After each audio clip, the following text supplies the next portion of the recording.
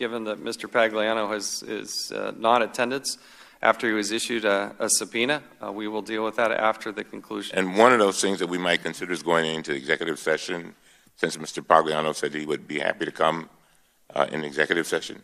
Would be, would that be one of the things? I will entertain all of the potential requests, but I'm telling you, I have no intention of going into executive session when he thumbs his nose at the United States Congress, wastes this committee's time, U.S. Marshals having to serve subpoenas, and him for him, him not to show. That is just not acceptable. Mr. Chairman, on a point of order, just, Yes. I, I just want to understand this uh, as well as I can.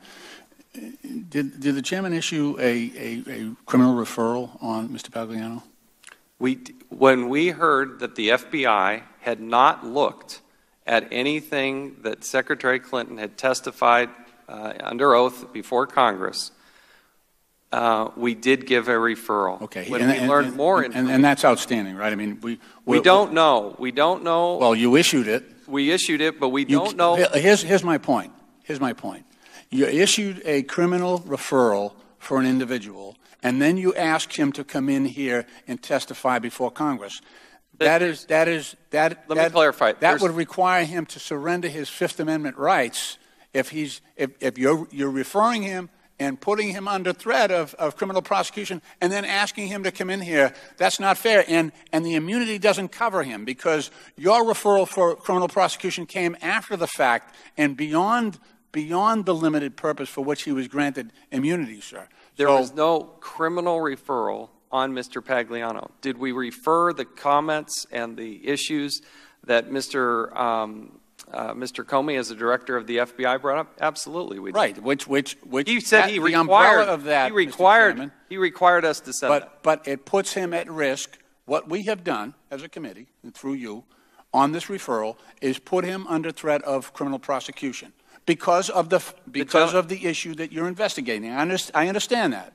The I understand that. But it, it puts him in, in jeopardy coming before this committee while that criminal referral is in existence. And I'm just saying, he's an American citizen. I know the Constitution gets in the way of this committee sometimes, No, lately. The gentleman will suspend. The gentleman will suspend.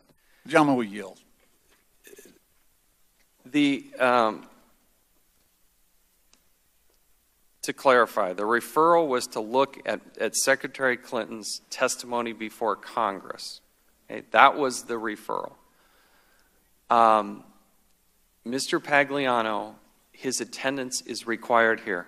There was interaction with Mr. Pagliano with another committee, but that's another committee. You have to bring that up with the other committee.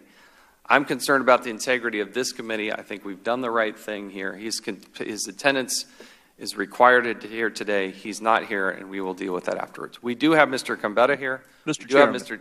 Mr. Thornton here, and we do have Mr. Cooper here. Mr. Mr. Chairman, Gentleman from South Carolina. um, could I engage with the chair in a colloquy? Yes. I, I thought witness Pagliano was granted immunity. That's what I've read. Well, Congress can't prosecute anyone, so the one entity who can has granted him immunity. I'm trying to figure out what his criminal liability is. If the gentleman would yield, Well, I was having a colloquy with the chairman. understand but if you, that, but if I you can answer the question, I'll be happy to yeah. happy to the- hear the from F- you. The FBI granted him limited immunity for the purpose The of FBI their- didn't grant him immunity. The Department of Justice granted That- him That's immunity. correct, that's correct, that's correct, for that limited purpose. How do you know it was limited use immunity? We, I haven't seen the immunity agreement. Let me also inject here. No, I, I, I, I, I- I have great respect for Mr. Lynch. I have asked what His, kind of a. his, his, his attorney, his attorney, Mr. Pagliano's attorney, says in his letter that Hold on. He was given limited immunity for that purpose. Well, that raises another interesting question that I hope the gentleman from Massachusetts will help me figure out, which is uh, when you've reached an agreement with the government, oftentimes it includes cooperation with other entities within that same government. So I wonder whether the Department of Justice, in their proffer or immunity agreement with Mr. Pagliano, made it clear that he needed to cooperate with another branch of government. We can't prosecute anyone, only the Department of Justice can. And they've made it, frankly, crystal clear they're not prosecuting anyone in this fact pattern. So where's the criminal liability? The gentleman has constitutional rights under the Fifth Amendment. Whether they are violated by the FBI or violated here in Congress, Well, but, still but, violated. But, but as the gentleman from Massachusetts knows, the Fifth the witness, Amendment. he, he, he cannot Fifth be required Amendment- to be a witness against himself. Uh, right, but the Fifth Gen- Amendment doesn't protect you from non incriminating answers. Well, we've got a criminal pro- referral here. Not on That- him. that- he uh, can say sure his is. name. Sure it is. He can say where he worked. Sure. Every It- answer it was doesn't issued after- incriminate The gentleman, the gentleman from, from Massachusetts will suspend. The gentleman from South Carolina is his time. I, I was just inquiring of the chair. I, I thought there was an immunity agreement in place between the Department of Justice and this witness. So if he's been immunized and you can't prosecute anyone for anything, where is the criminal liability to him coming and answering questions? Which, which further assumes that every question you ask is going to expose him to criminal liability. There is no Fifth Amendment privilege against answering non incriminating questions. Will the gentleman yield? Sure. But he can incriminate himself because we've issued, a, a, you know, a, a criminal referral here. He's got immunity. because of the. He doesn't have immunity. He doesn't have immunity. He doesn't have immunity. you I'll- haven't seen the immunity I'll immunity enter this. agreement. Re- yeah, look at it. If you want to read it yourself, it's from the gentleman's attorney. He says he's got Well, limited no, I'm going to so- need a more reliable source than a criminal defense attorney. I want to read the agreement itself. I want to read the agreement between the Department of Justice and this witness. And whether or not that agreement requires this witness to cooperate with other entities of government. That is commonplace. For them to say you can tell us the truth, but you can't tell Congress makes no sense. That's all I want. Okay, the gen- gentleman will suspend. The committee should also be aware that the committee uh, did send a subpoena to Mr. Pagliano to produce this immunity agreement. That was due today at 10 a.m., and he did not produce that as well. So he was under subpoena to not only have his presence here, but so that everybody on this panel can see this immunity agreement, which he supposedly has in his possession. Those documents were also subpoenaed by the committee, and he did not comply with that as well. It's the intention of the chair here. We're going to move on. There's a lot to d- address with Mr. Pagliano. Like I said, we're not letting go of this, but we need to continue with this hearing. We have Mr. Uh, Combetta, Mr. Thornton, Mr. Cooper here. We uh, do appreciate being here. All witnesses are to be sworn before they testify. So if you will please rise and raise your right hand.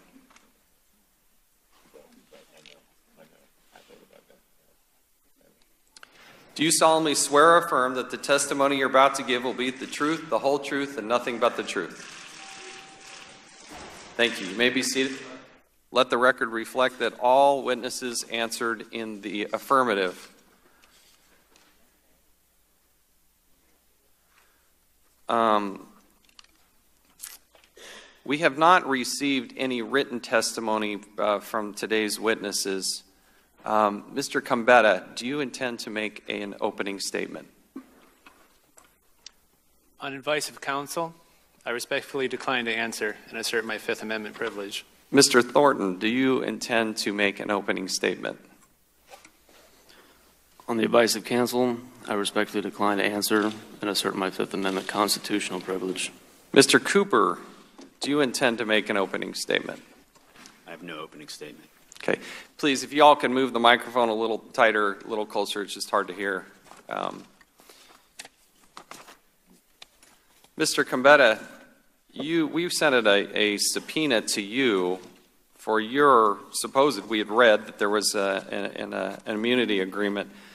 Mr. Combetta, did you uh, produce your immunity agreement this morning as required under the subpoena? On advice of counsel, I respectfully decline to answer and assert my Fifth Amendment privilege. Uh, Mr. Combetta, a couple of questions. Um, Senator Johnson last year released a portion of an August 19, uh, 2015 internal communication between two Platte River Networks employees. Here's how it read Quote, wondering how we can sneak an email in now after the fact, asking them, meaning them we read to be the Clinton Executive Services Corporation, when they told us to cut the backups and have them confirm it for our records, starting to think this whole thing is really covering up some shady, and there's an expletive there, I just think if we have it in writing that they told us to cut the backups, then we can go public with our statement saying we've had the backup since day one. Then we were told to trim to 30 days. It would make us look a whole lot better. As I understand it, you were one of the two employees assigned a PRN in the Clinton account. Did you send or receive this email? On advice of counsel, I respectfully decline to answer and assert my Fifth Amendment privilege. Mr. Combetta, two days after that last email, you wrote on August 21st, 2015, to an employee of a third party backup firm called Datto. This is what it said quote, We are trying to tighten down every possible security angle on this customer. It occurs to us that anyone at PRN with access to the data partner portal, i.e., everyone here, could potentially access this device re- via remote web feature. Can we set up either two factor authentication or move this device to a separate partner account or some other method to allow only who we permit on our end to access this, this device via the internet? End quote. I, if I understand the email correctly, every single employee at PRN could have accessed some of the most highly classified national security information that has ever been breached at the State Department. Can you prove that no other individuals accessed this data or even passed it on to someone else? On advice of counsel, I respectfully refuse to answer and assert my Fifth Amendment privilege. Well, one last one here, Mr. Combetta. You're an IT guy who's paid by the Clintons. Generally, IT guys don't release their cli- don't erase their clients' emails unless they're told to do so. So, who told you to delete the emails? On advice of counsel, I respectfully decline to answer and assert my Fifth Amendment privilege. Mr. Cummings, do you have any questions? Uh, yeah. Do you all plan to continue to uh, assert your, Ms. Combetta, Ms. Thornton, do you, con- you, do you plan to continue to assert your Fifth Amendment rights? Is, is that your plan? Mr. Is that your plan? On advice of counsel, I respectfully refuse to answer and assert my Fifth Amendment privilege. And you, Ms. Thornton? On advice of counsel, I respectfully decline to answer and assert my Fifth Amendment. I'm not going to have any other questions since since it's clear that you're, you're going to you're taking um, taking the fifth on it. But and I can understand why you're doing what you're doing. We've had a case here before where answering a question or two, uh, we then ended up in all kinds of litigation as to whether or not you had waived your Fifth Amendment privileges, and so I have nothing further. and I do I do know that uh, DC ethics, since DCS ethics opinion that addresses the abuse of witnesses trying to take their Fifth Amendment privileges, and as a lawyer, uh, I'm not going to be a part of that process. Uh, Mr. Combetta, uh, given the, that you have indicated that you do not intend to answer any questions out of respect for your constitutional rights, we will now excuse you uh, from the table. Okay?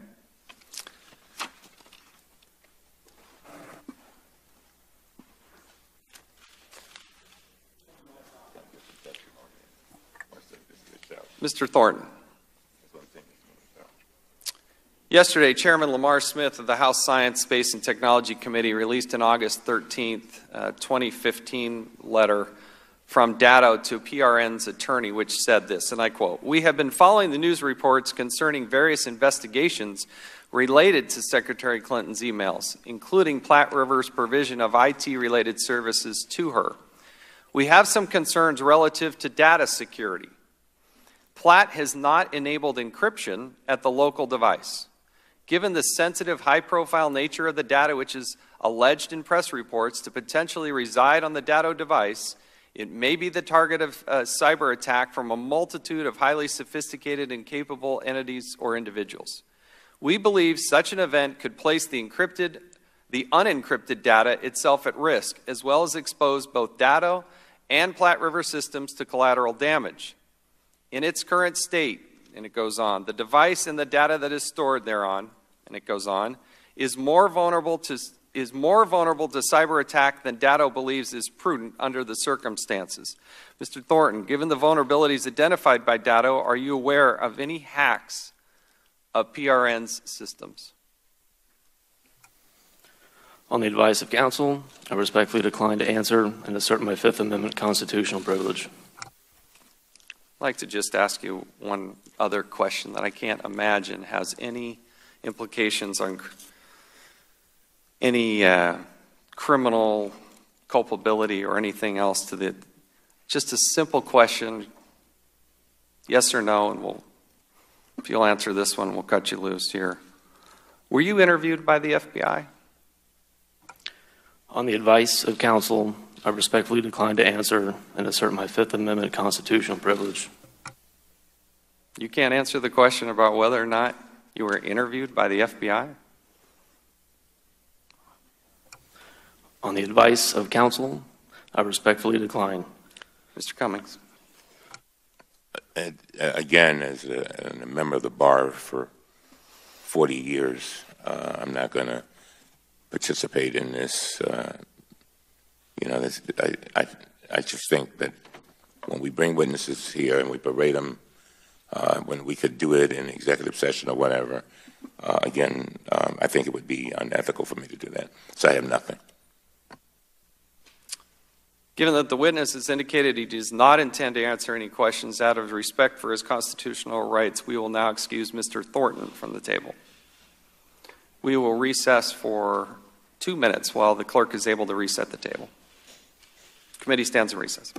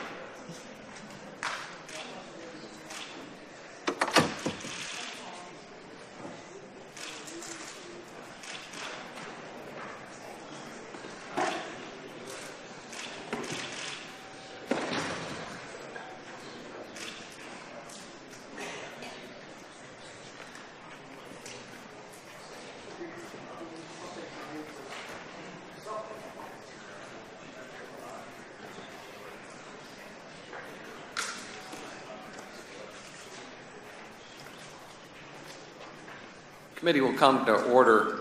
Um, as we last left it, left it, there are some serious questions based on the emails about the.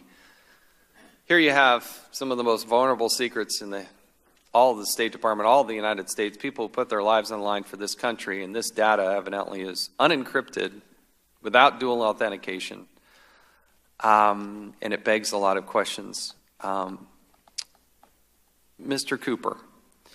Um, you told the FBI evidently that you set, you helped to set up uh, Hillary Clinton's, Secretary Clinton's New York and D.C. residences with an iMac, correct? That is correct. So you did you set them up, or did you set them up with somebody else? Those were out-of-the-box solutions uh, that were set up prior to her. Sorry, becoming- you got to move it a little closer. It's just we're having Those were out of, out-of-the-box solutions that were set up prior to her become, becoming Secretary of State. And um, where did you set them up? Uh, They were set up in the offices that she used in each of her homes. Did that include the SCIF? At the time they were set up, those rooms were not used as SCIFs. Did you ever have to service any of those computers or work on any of those computers? Over periods of time, I did service and work on those computers. You did or did not? Did work on those computers. Including the one in the SCIF? I don't recall any specific time that I worked on it once they were in the SCIFs. So, well, how many did you set up at her home? There was a computer in uh, her office in each of her homes. Uh, I've worked on their homes for a period of 15 years, and certainly when they were originally set up, they were set up primarily for the use of staff in her homes, and I would use those computers from time to time to print documents. Once they became SCIFs, I don't recall specifically using those computers. Or servicing of those? No. Um, do you have a secure, did you have a security clearance at that time? No, I did not have a security clearance. After you left the White House early in, when did you leave the White House? 2001. 2001. Did you ever have a security clearance at any level after that?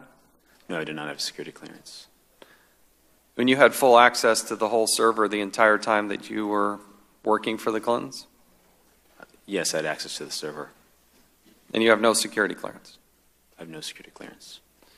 Um, you told the FBI that Uma Abedin recommended in the fall of 2008 that you contact Bryan Pagliano to build the new server system. Is that correct?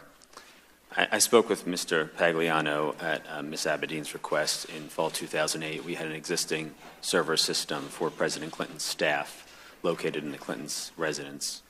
Uh, I spoke to Mr. Pagliano as that system had its limitations and we were thinking about expanding it. He had some opportunities using surplus equipment from the Clinton campaign that we could use for President Clinton's office to set up. We got, we get, sorry, we got to still move that microphone. Just Sorry. straighten it out and put it right up under, there you go. Thank, a little closer. Um, did you,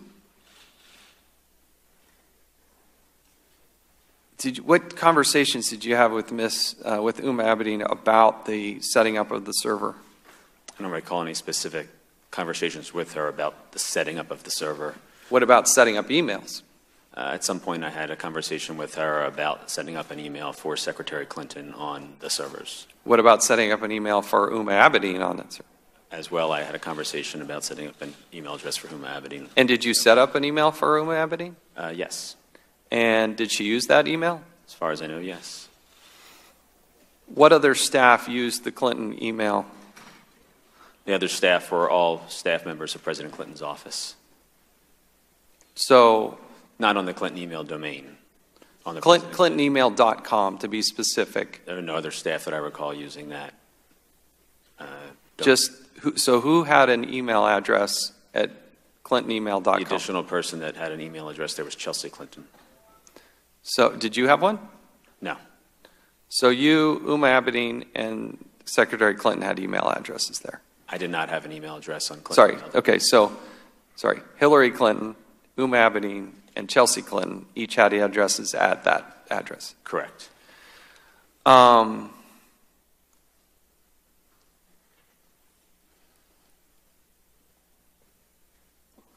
what other computers did you set up in their residence? How many computers did you set up?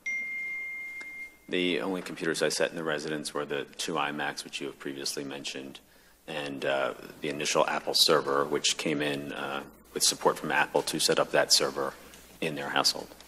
And did you set up anything in Washington, D.C. at a residence there? As mentioned, that one of the two iMacs, which you referred to, was in Washington, D.C. So the other one was in Chappaqua, New York. Correct. Okay, so there's a total of two computers, one in Chappaqua. Why did you set up ClintonEmail.com? Uh, Secretary Clinton was transitioning from presidential campaign and her Senate role and had been using primarily a BlackBerry for email correspondence. Uh, there were limitations to her ability to use that BlackBerry, uh, as well as a desire to change her email address because a number of people had received her email address over the course of those activities. So we created, uh, with a discussion, uh, I believe, with Huma Abedin at the time, what domains might be of interest. We, we obtained a domain and we added it to the original server used by President Clinton's office. Uh, for her to use with her BlackBerry at the time. And we set that up in a way where the messages simply came into that server and bounced right to her BlackBerry and were not retained on that Apple server. Who paid for these computers? All of them were paid personally by the Clintons, Personally? personally. And um, who were you being compensated by? I was being compensated by the Clintons. Just personally, or the Clinton Executive Services, Clinton Foundation? What was? At that time, uh, I was employee of both the Clinton family personally and the Clinton Foundation. Okay. All right. My time has expired. We Now recognize the ranking member, Mr. Cummings. Mr. Cooper, the FBI's investigative summary states uh, that the Apple server you helped install on the home of President and Secretary Clinton in 2008 was originally purchased for the purpose of hosting email services for President Clinton's staff. To the best of your knowledge, is that is that accurate? Yes, that's accurate. According to the FBI summary, the decision was made to keep that server in the Clinton residence. The reason was, and I quote, due, concern, due to concern over ensuring email reliability and a desire to segregate email for President Clinton's various post-presidency endeavors, end of quote. According to the FBI, the decision was made in January 2009 to switch from the Apple server to a new server. The FBI investigative summary states that in 2009, quote, according to Cooper, in or around January 2009, the decision was made to move to another server because the Apple server was antiquated and users were experiencing problems with email delivery on their BlackBerry devices, end of quote. Is that accurate? I would say that uh, there's not a date certain that there was a decision made to switch from one server to the other. In my conversation with Mr. Pagliano, I was aware that the Apple server which we were using was not fully meeting our needs and was not expandable to meet potential future needs of other staff from President Clinton's office joining the server. It also did not have a robust solution to support BlackBerry usage. It's very hard for me to even remember what the technology around BlackBerry was then and how they functioned. Uh, there were more progressive ways to use a BlackBerry. Uh, Mr. Pagliano had the expertise to set up a server that had a proper BlackBerry interface with it, and that was something that was uh, desired by President Clinton's team. And so, over a period of time, as Bryan decommissioned those servers from the campaign, we were able to purchase them from the campaign. He then took time to set them up on his time, either in the campaign offices or his home, I'm not sure the location, and then delivered them to Chappaqua, uh, I believe in around March of 2009, when I physically helped him move them into the space where they were going to reside. So Secretary Clinton began using that, that new server for email around March 2009. Is that accurate? Uh, her connection to that server, I believe, was in March 2009. The Republicans have a uh, conspiracy, conspiracy theory that Secretary Clinton used the server in her home for email in order to avoid complying with records laws. Representative DeSantis uh, asked Director Comey directly about that theory. He asked, and I quote, was the reason she set up her own private server, in your judgment, because she wanted to shield communications from Congress and from the public? Now, Ms. Cooper, here's what Director Comey said, and I quote, I can't say that. Our best information is that she set it up as a matter of convenience.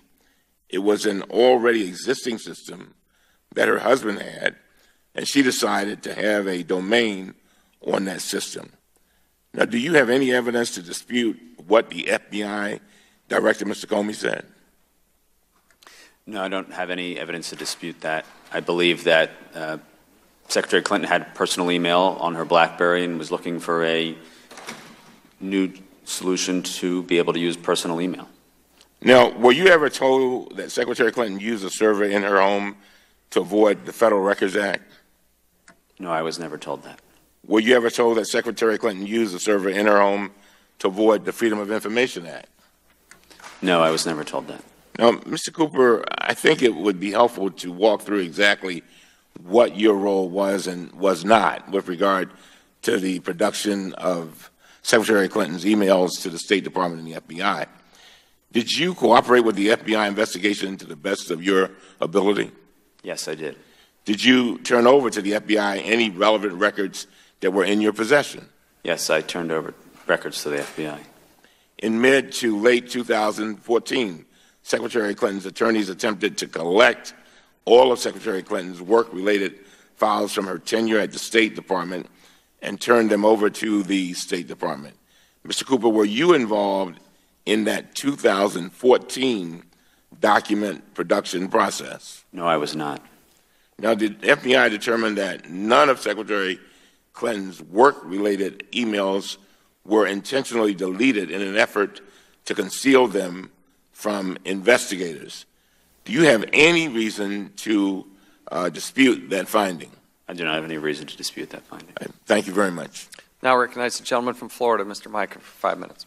So, Mr. Cooper, um, you started um, again the, the whole setup of the first server, 2007 8, right? And you gave the domain, the Clinton domain email address, uh, set that up. Is that correct? That was at the very beginning as she was leaving campaign, coming into uh, office. I'm sorry, from my recollection, there was a President Clinton domain set up prior to that point, and the Clinton email domain was set up in January of 2009. 2009. Okay. Um, at, at some point when she left, I guess the priv, uh, private capacity came into the public.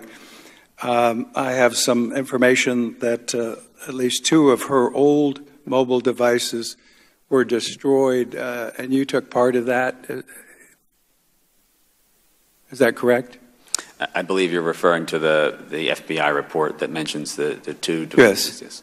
I can't, When, when did you take part in destroying some of her old mobile devices? uh, yes, at some point in time, uh, when she was transitioning from one mobile device to the next, we would take the information that was on the old device, back it up, transfer it to the new device. And you worked with Mr. Pagliano? I would interface with Mr. Pagliano on this. This is relevant. Did you ever discuss with him how you could uh, destroy a device? I don't Did he participate in destruction of any I uh, don't devices? recall any conversations of that type. Okay. Um, Are you aware of what happened to his me- emails? You, you, uh, you actually were the one servicing the server for most of the period while she was Secretary of State, is that correct? I would uh, categorize it differently. Bryan Pagliano serviced the server. I would. Oh, you set it up, and he conferred, and he, you conferred with him. You, Mr. Pagliano set it up, he engineered it, and I was the interface between the users. and would he have had any Pagliano, the uh, emails on uh, those servers, would- to your knowledge? No. He wouldn't? Uh, And you have no idea what happened to all of his uh, I certainly do not. Um, You also were made aware on two occa- or made aware on two occasions to Secret Service, I think January 2011, that um, that someone was trying to hack the system. Is that correct? I, I used that word uh, colloquially to describe what was uh, a series of false logins on the server. And not once, but twice. uh, Then you cl- uh, believe closed down the system briefly to deal with the situation. Correct. Uh, when were you first contacted by the FBI? I believe it was August uh, of last summer. And that's was that the first time you sat down with them, or was that later? That was your first interview. Yes. How many times were you interviewed? Three times. And uh, could you give us a, the approximate dates? The top of my Last summer was the first, and then Last- subsequent. Last summer, subsequently in the fall, and um, this spring. I Were believe. you ever offered any type of immunity, immunity agreement by the Department of Justice? I was not. How long have you uh, been represented by your current counsel? Uh, since the beginning of, uh, since I was first contacted by the Uh-huh. FBI. And again, you've explained that uh, it was the um, Clintons who paid for your counsel uh, up to that time, or and uh, the organization that was set up by the Clintons? I'm the only person who's paid for my counsel. You've paid for your own Yes, expenses. They've not paid for any. correct. Did you have a have you had any kind of a joint defense agreement with any under other individual involved in the FBI's investigation? I have no such agreement. No such agreement. Uh, finally, uh, you step back from the day-to-day uh, ag- uh, activities with the Clintons about the time of the transition. Is that correct? Uh, as they uh, as she left office Yes, and Pagliano took over. yes, And you were also responsible for the transfer, helping with the transfer. In fact, you walked uh, her aide, uh, Hanley, over the phone through taking the information that they had in emails and archiving it. Is that correct? At one point, I assisted Monica Hanley in setting up a laptop computer so that she could create an offline archive of the emails that were on the. And to your knowledge, was everything, uh, I do trans- not know the outcome of that. you don't know if there were, and do you know finally, wa- was there any deletion or attempts for, uh, to delete any information that had been stored that was going to be transferred and archived? I have no knowledge of that. Uh, Thank you. Now recognize the gentlewoman from the District of Columbia, Ms. Norton, for five minutes. Thank you, Mr. Chairman. Um, uh, the FBI report for the average American put the uh, matter uh, involving uh, Ms. Clinton's emails to rest for the average person. It was the FBI. It was a tough report. Uh, and yet, you could take colonels, and that's what's happened here. And I want to ask you, Mr. Colonel, Mr. Cooper, about one of those colonels. Uh, one of the most venal of the conspiracy theories to come uh, forward out of that report follows on from some testimony you gave. The report quotes you, and I take it you were under oath before the FBI? Sorry, I was not under oath. Well, it says you advised that you sometimes assisted users, including Clinton. I'm now quoting the report. Uh, when they obtained a new mobile device by helping them back up the data from the old device before transferring it to the new device and syncing the new device with Clinton with with the Clinton server. That's correct. That quote is correct. Uh, then the summary describes two issue, two instances, and here's where the conspiracy theories have been acted out, uh, both in this House and in the presidential campaign. That you recall two instances where you destroyed uh, old mobile devices with a hammer, and Mr. Trump claimed that who would do that if they didn't have any anything to hide and Representative DeSantis picked up that rhetoric and says it obviously shows intent to hide something. Mr. Cooper, I'd like to directly uh, ask you about the destruction uh, of those uh, Blackberries. Was your purpose in destroying the old Blackberry device ever to hide Secretary Clinton's emails from being saved or disclosed from federal records laws? Congresswoman, no, is not in any way to destroy or hide any information at all. I couldn't speak to whether there were records on there that needed to be or were, should be considered federal records. In fact, the opposite would be the case in that I was going out of my way to preserve all of the information that was on those devices, transfer them to the new devices, and make sure that the server. Well, that's the, that was going to be my my on. question. Be, before you destroyed them from one BlackBerry to another, did you transition the, the, the, very same emails from the old BlackBerry to the new one? It's a combination of the backup procedure and the procedure of activating the new device. All of the information from the previous device would have ended up on the new device before we went and deleted uh, using the BlackBerry tools to wipe it, the, the old device. So that would mean, would it not, or did it mean that you copied the content, If- total content It means that of the secretary's device, saved it, and loaded it onto a new device, so you had the exact same thing onto the new device? that is correct. during the course of the FBI's investigation, did you realize that you still had retained extra, the extra copy of the content of those old BlackBerry devices on your own machine? And did you provide that information to the FBI? In preparing uh, to meet with the FBI and, and examining my files related to the server, I did des- describe some files that may have contained content related to this. Uh, I turned that content over to my attorneys who worked with the FBI and Department of Justice on capturing that material for their possession. So I take it that that was to make the case that you did not intend to destroy the, the Blackberries to hide anything. That is correct.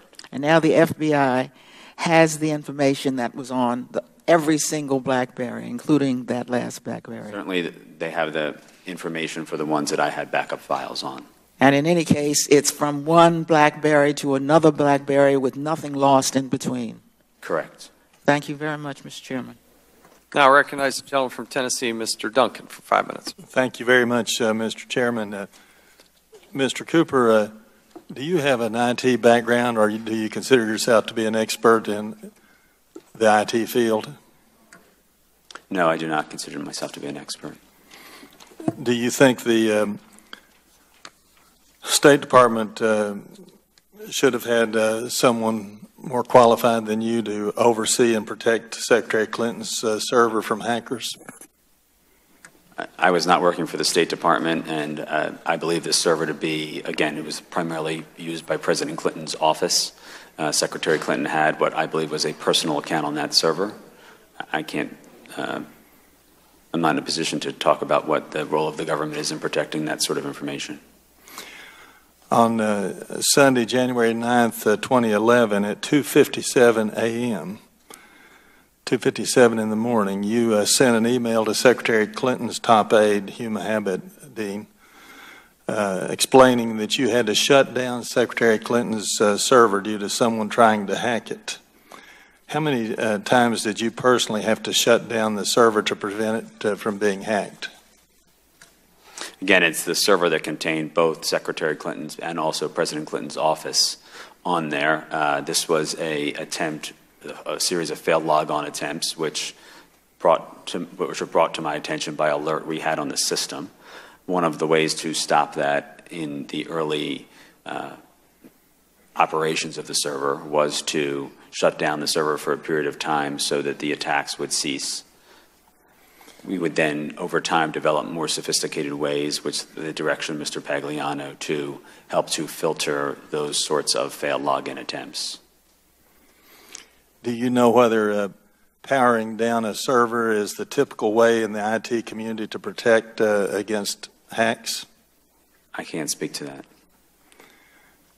Do you know what a brute force attack is? Yes, a brute force attack, from my understanding, is a series of uh, high frequency failed login or attempted logins using a variety of usernames and passwords. How many brute force, brute force attacks did you observe in the Clintons uh, on the Clinton server?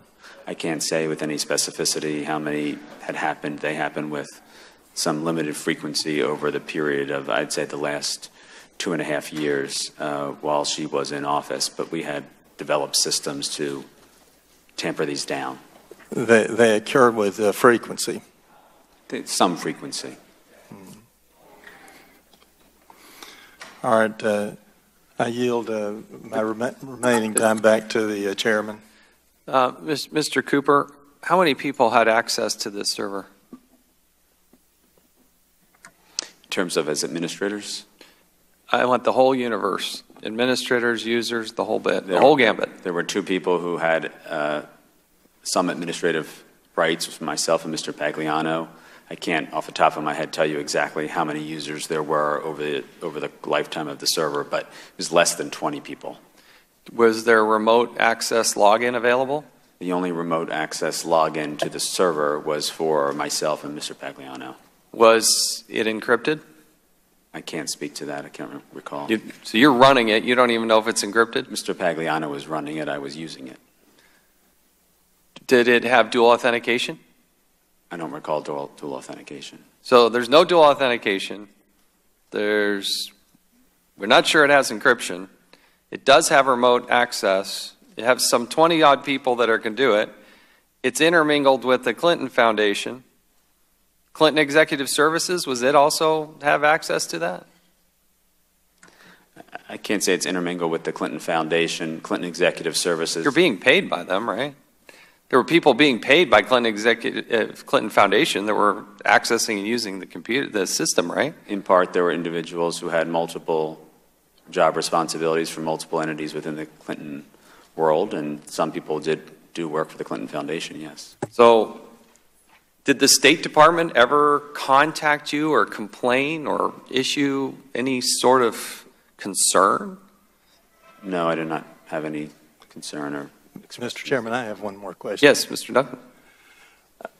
Mr. Cooper, I understand that uh, in order to make uh, Secretary Clinton's private insecure email server connect with the State Department's much more secure server, the State Department had to lower its own security settings, at least temporarily, to match Secretary Clinton's more insecure security server. Do you know about that? That the fact that she had this insecure server? That is not something I specifically know about it. I've read accounts of that in the media, but I have no direct knowledge of that. All right. Thank you very much. Thank you. We'll now recognize the gentleman from Massachusetts, Mr. Lynch. Thank you, Mr. Chairman. Thank you, Mr. Cooper, for being here and your willingness to testify. Appreciate that. Uh,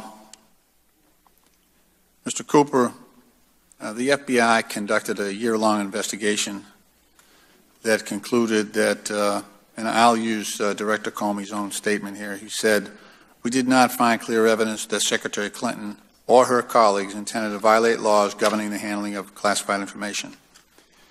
And he went on to say that, uh, "I do not see evidence that is sufficient to establish that Secretary Clinton or those with whom she corresponded both talked and classified, excuse me, talked about classified information on email or knew when they did it that they were doing something that was against the law." Now, uh, I know you're not a, a computer expert, and that's pro- probably more appropriate uh, line of questioning for Mr. Pagliano. But uh, in its year-long investigation, uh, the FBI did have a number of uh, technical computer experts on their team, and they took about a year. And uh, I want to again recite their conclusion. And this is Director Comey again in his testimony before this committee. He said, quote, with respect to potential computer intrusion by hostile actors, we did not find direct evidence that Secretary Clinton's personal email domain in its various configurations since 2009 was successfully hacked. And uh, the FBI investigation summary similarly stated, FBI investigation and forensic analysis did not find evidence confirming that Clinton's email server systems were compromised by cyber means. Do you have any information today, Mr. Cooper, that uh, contradicts the FBI's finding? I do not have any information that would contradict that finding. Okay. Uh, the FBI also interviewed Bryan Pagliano, uh, the IT expert on the server. Uh, the FBI's investigative summary describes in some detail what he explained, and it states, as I quote, uh, Quote, when asked about the maintenance and security of the server system he administered, Pagliano stated there were no security breaches, but he was aware that there were many failed login attempts, which he referred to as brute force attacks, what the gentleman was referring to earlier in his line of questioning. Is, uh, Mr. Cooper, is, is that statement that I just read, that quote from Mr. Pagliano in his uh, conversation with the FBI, is that consistent with your recollection? That is consistent with my recollection. Okay. Uh, did you take any steps to protect the server when there were these failed brute force, so-called, uh, login attempts? Over time, Mr. Pagliano developed a few different solutions that allowed us to manage them in, in a variety of ways, from blocking the IP addresses manually and ultimately automatically, as I recall. Okay. The FBI summary explains some additional steps that were described. Uh, I'm not sure if it was, I think it was Mr. Pagliano who took those steps to improve the security of the server, including establishing secure socket layer certification for encrypted login on March 29th and internet protocol filtering to block access from would-be hackers. Is that consistent with your recollection? That is consistent with my recollection. Thank you. Uh, That's all I have, Mr. Chairman. I yield back. Gentleman yields back. We now recognize the gentleman from Ohio, Mr. Jordan. Thank, thank you. Mr. Mr. Chairman. I actually had questions for the guys who aren't here, but uh, so I want to just walk some the committee through a few things. We could put up the uh, the slide. That'd be good. And this is where the chairman was earlier when Mr. Thornton and Mr. Combetta were here. This is an email we think either from one of those guys. One of those guys sent it. Uh, and or received it. Um, and I just want to read this. Uh, Look at the date first, August 2015. A lot of things happened before that date but wondering how we can sneak an email in now after the fact, asking them when they told us to cut the backups and have them confirm it for our records. We're starting to think this, is, this whole thing is really covering up a lot of bad stuff. Um, they wanted something in writing because they knew they were going to get thrown under the bus later on. That's what, and we know, we know that they had to do, they changed the backup structure because look at the FBI report, page 18. Cheryl Mills instructed someone, name is redacted, at Platte River Network to modify the email retention policy on Clinton's clintonemail.com email account. She wanted to get rid of anything after 60 days. So we know they were instructed to do it. They just wanted something right. Let's, let's just walk through some history here. From the FBI report, July 2014, at the request of Cheryl Mills, Platte River Network remotely transfers all Hillary Clinton emails to Cheryl Mills and Heather Samuelson's laptops. These laptops are later have uh, BleachBit applied to them and stuff is deleted. What happened right before that? What happened right before July 2014? Again, go to the report. Page 15 of the report. During the summer of 2014, Cheryl Mills is given a heads up by the State Department that there'd be a letter coming requesting all Hillary Rodham Clinton's emails. Jump forward to December. Cheryl Mills' request Platte River Network changed the email retention policy on her account, what I just read. What happened right before that? What prompted this change? December 2nd, Chairman of the Benghazi Committee, Trey Gowdy, sends a letter to David Kendall, says, Hey, we just found out about this other account. We didn't know at the time it was the only account. This other account that Hillary Clinton has, we'd like the information, any emails relating to the Benghazi situation from that account. And of course, right after that, they changed the policy. That Platte River Network is instructed to delete anything after 60 days. And now we move forward to the, the amazing month, the one the chairman cited in his opening comments. March 2015. March 2nd, New York Times reports she's got just this one email account, this private server situation. March 3rd, Mr. Gowdy sends a preservation letter telling them to preserve everything that might be relevant to our investigation. March 4th, there's a subpoena. March 9th, Platte River Network is put on notice about the preservation order. March 10th, she does her press conference, and of course, the important dates March 25th and March 31st. Those two dates, there are conference calls with Clinton legal, Clinton uh, lawyers, Bill Clinton's lawyers, and Hillary Clinton's lawyers, and Platte River Networks. And of course, on the 31st of that month is when they take BleachBit to the whole darn thing and they get rid of everything. They get rid of everything. So, now we have two guys, three guys. One on the front end, Mr. Pagliano, who helped Mr. Cooper set it up, take the fifth and get immunity. And now we have two guys on the tail end. Right? Mr. Combetta and Mr. Thornton didn't work for the government. They take the fifth, and Mr. Combetta, at least, gets immunity. Go back to the date again August 2015. These guys are starting to wonder wow, we don't have anything in writing. We've been given all these instructions verbally, phone calls, conference calls, all these instructions to change the backup, delete things, erase things, BleachBit things, take hammers to things. All these instructions, we don't have anything in writing, we might be in trouble. Guess what? They are. That's, that's the story. And that's why it's appropriate, Mr. Cummings, for the chairman to invite him in here today and see if they would finally answer somebody's question. Mr. Gowdy's just right. He's exactly right. They'll talk to the people who can put them in jail, but they won't talk to Congress. They'll talk to the Justice Department. Mr. Pagliano, Mr. Combetta will talk to the Justice Department, but they won't talk to us. We can't put them in jail. We just want to get answers for the American people, and they won't talk to us. I've never seen anything like this, Mr. Chairman, where you get, as we talked about yesterday, no, no regular American can get away with the kind of behavior Secretary Clinton gets away with. Two standards now in the country, and this is what is so wrong, and this is why the hearings you're having and the investigation we're doing is entirely appropriate. And with that, I yield back. Gentleman yields back. We now recognize the gentleman from Texas, Mr. Farenthold, for five minutes. Thank you, Mr. Chairman. Mr. Cooper, thank you for being here and having the courage to testify uh, before us and getting to the truth. I want to just take a big step back. I'm pretty geeky, and I'm going to ask some geek questions you may or may not be able to answer. But the uh, server the Clintons had, this wasn't like just a personal computer that uh, everybody has that they pick up their email. I've had people go, Oh, I've got a server in my house. That's how I get email. They think their personal computer is a server. This is a computer running business class software that delivered and forwarded and stored email for dozens of people. That, that, is that correct? Yes, that's correct. And are you familiar with uh, many people who have this type of equipment in their home? It's typically something that's in an office. Is that correct? That's correct. Do you know anybody who has a server at their home besides maybe me? I'm cer- certainly aware of some people who have servers. But it's pretty rare. Are you, now, are you familiar with what uh, email software was running on the uh, server?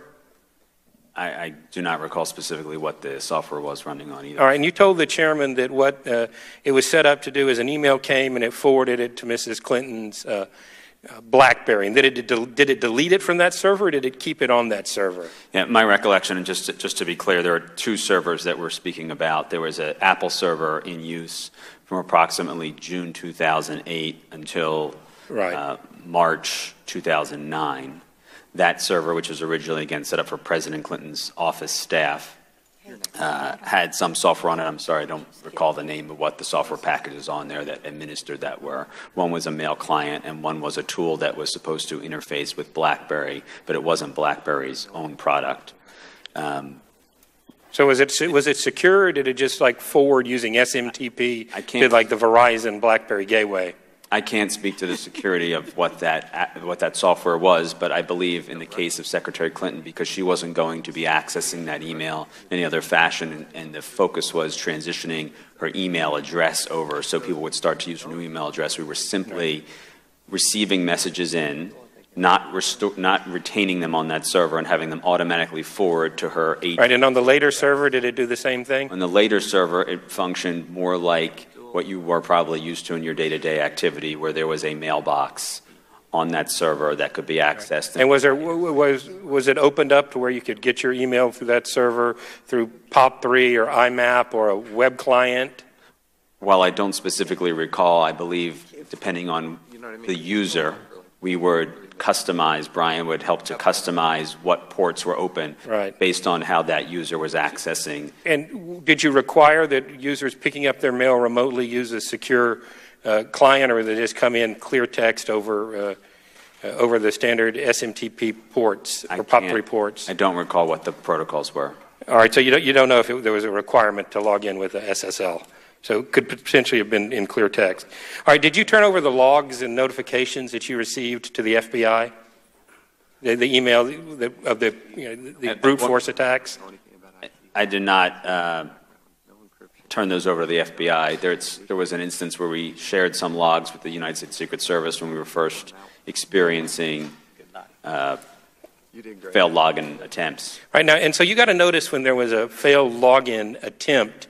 But if somebody doing this brute force attack where they use, they just enter a username and uh, you throw random passwords at it, if they'd gotten it right, you wouldn't have been notified, would you? You'd have thought maybe it was Mrs. You would have probably thought it was Mrs. Clinton or some legitimate user actually getting in. I don't want to suppose, but uh, I mean, you wouldn't. Understand. You only get notices of failed login Correct. attempts. You, you weren't notified every time somebody actually logged in, though there may actually have been a log kept. correct. So somebody could have gotten in and you just wouldn't have know, known it. And I'm sorry, I don't remember if I asked this or not. I'm going to ask again. Was there a firewall between the internet and this server, a, a piece of hardware between the server and the internet? I believe there was a firewall associated with the Pagliano server, yes. All right, was there one with the Apple server? I don't recall. Uh, all right, and then um, we talked a little bit about the uh, Miss Clinton going through a variety uh, of Blackberries. Were they all the same version of Blackberries, or did she migrate up between? You know, when when the when the new BlackBerry co- came out, did she want the latest and greatest BlackBerry? Again, it's a, a, little bit difficult, I think, for, for me at least, to go in a time warp and know the sequences, but BlackBerry was releasing models quite frequently then with very different user interfaces, from trackballs to track wheels to track pads. I know I went through that nightmare myself. And, and I, I think over time, you know, she would move to a newer device, usually when her older device may have been, uh, you know, a little bit older, a little bit failing. And do you know if the security patches were regularly put on uh, all of these servers? I, I, feel fairly confident that the security patches were updated by Mr. Pagliano. Uh, I, tell you, having had, having kept a server in my house for a while, I gave it up and now moved over to uh, an online hosting because it's next to impossible uh, to keep up with the pace of the security uh, security fixes that are coming out. I see I'm out of time. It happens when I geek out. I yield back. Thank you. We now recognize the gentlewoman from Wyoming, Ms. Lummis, for five minutes. Well, I'm glad that we had a, a geek out because I can't do that. I, I'm a rancher. I'm, I'm not as familiar with uh, um, these technologies. But, but I do know this, just as an average American, when it comes to technology. Um, we do know that the Chinese government hires people to hack by day, and that those same hackers hack for hire at night. Uh, so there are people who are spending every single day in China, probably Russia, other countries, oh, trying to hack into the computers uh, of U.S. government officials. Uh, so security is a constant problem in this country, for, especially for high elected officials or appointed officials. And I do know this that encryption can be used to help prevent that, that dual authentication processes can be used to help prevent uh, that kind of hacking. So, Mr. Cooper, are you telling me that there was no dual authentication, no encryption, uh, and the, the Secretary of State had no protection of our secrets when we all know that efforts are being made to hack people just like her in government?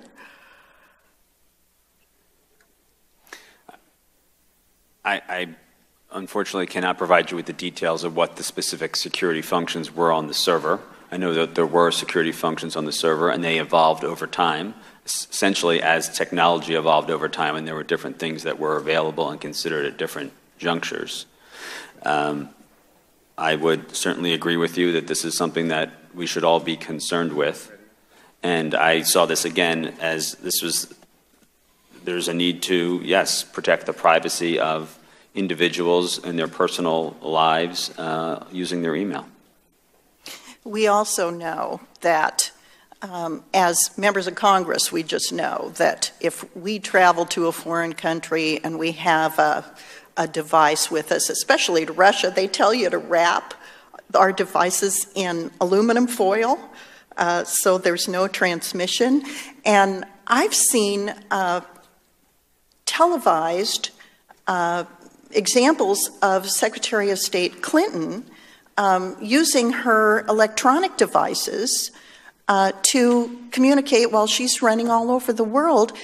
And now that we know that these servers and devices uh, were scattered around uh, in her home um, and, and uh, that there was a, uh, some sort of management of documents in, in Colorado, how can people like me assure the American people that the information that was on those emails, and that some of which has been destroyed and is not available to us, is not being sifted through, even as we speak, by Chinese hackers and Russian hackers. And uh, what security does our country have by virtue of what looks to me like some pretty lackadaisical attitudes towards sensitive data, top secret data, secret data,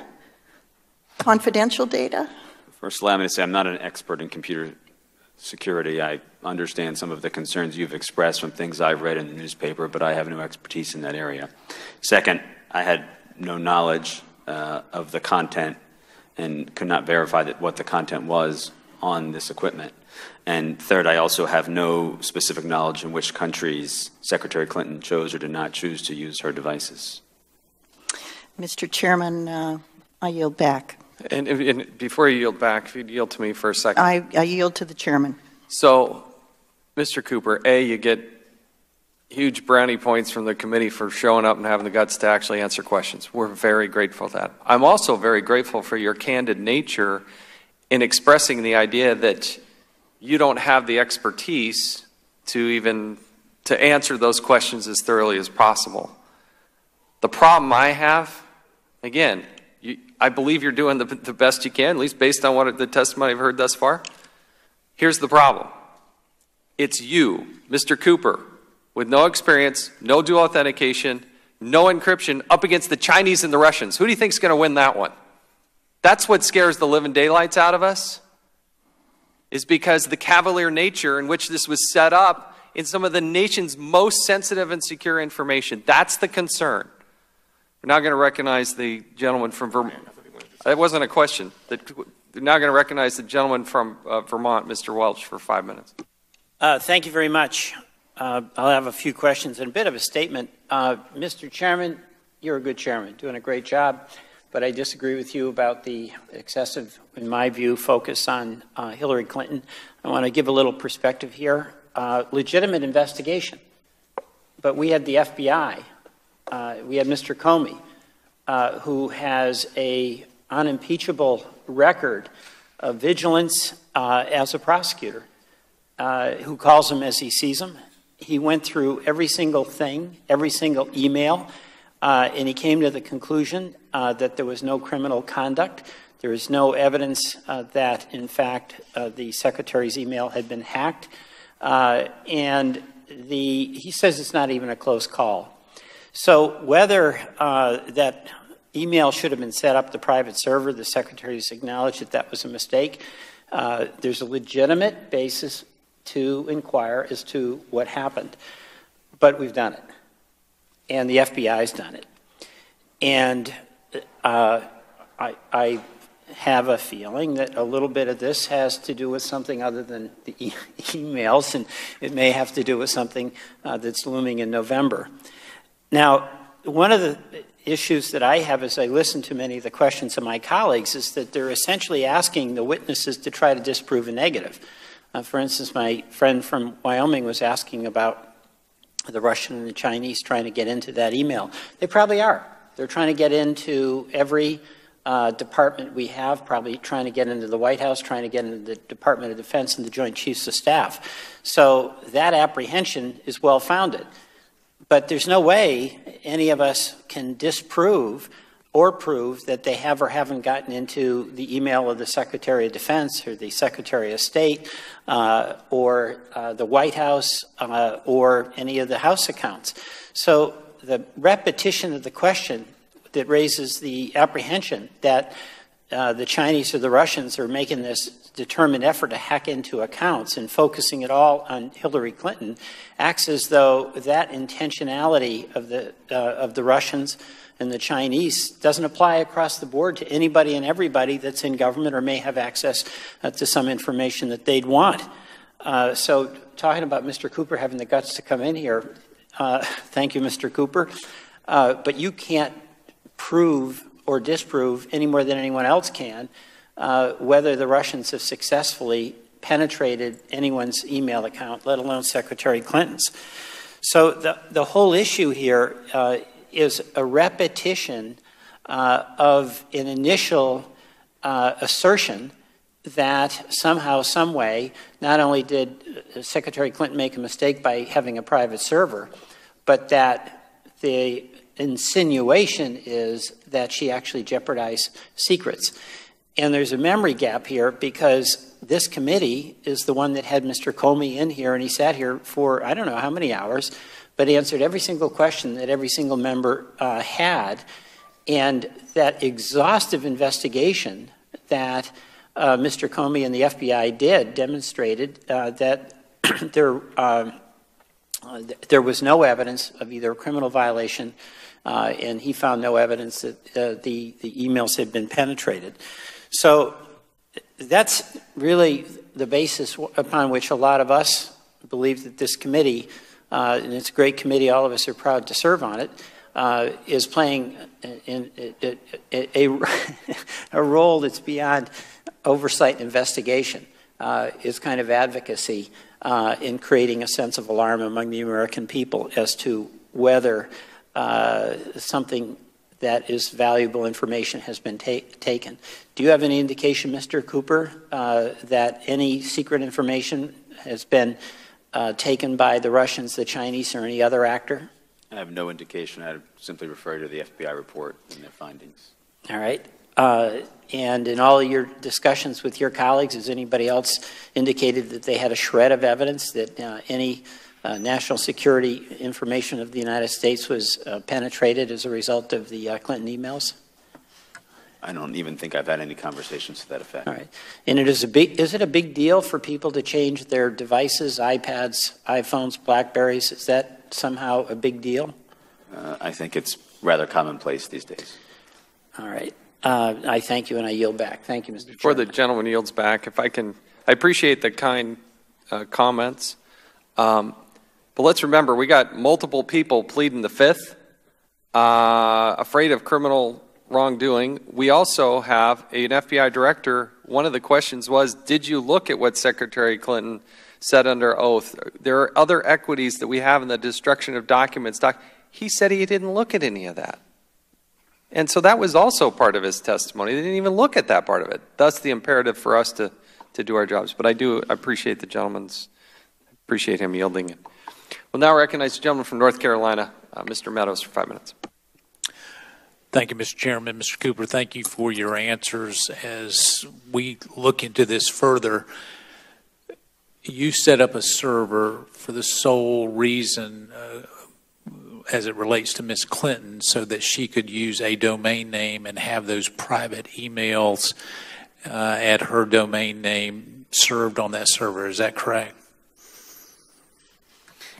Again, uh, I set up two servers, both with the primary purpose of servicing President Clinton's personal office. Right, but but in servicing Ms. Clinton, you put her domain name to service emails on those servers. Correct. Why why did you not use another server like one on one or or any of the other servers that are out there? Why would you not use those? You know, I have a device that has a domain name that I own that I get emails at, and uh, it's it's much cheaper uh, for me just to have a server that does that. If, why would you not have done that? First, we had this solution in place, so it was certainly an option, and, and, and considering other options. I think that there were some appeals to this in that the data was contained in one place. We knew where it was contained. It was physically in a secure location. Um, and I think that some of the tools that you or I may employ today, even with a personalized domain, were not available at that time. Well, in 2009 they were because I was using them, and so so they were available then. And so what you're saying is the reason to not have another. You're getting advice from your counsel. Will you hold the clock for a second? I guess y'all are wanting to talk about that. Sorry, just to turn off. So, so the other the other aspect of this, Mr. Cooper, is is you made a conscious decision to put her email address on this server to keep it from being viewed by other people that might have a server like one on one or anybody else.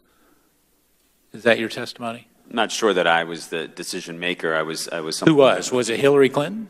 I, I was in discussions primarily with Huma Abedin. I, I don't know if she was the decision. So your testimony here today is that Huma Abedin said that she would prefer to have Ms. Clinton's email on a private server versus a server that was actually managed by someone else. That's your testimony. My testimony is that that was communicated to me.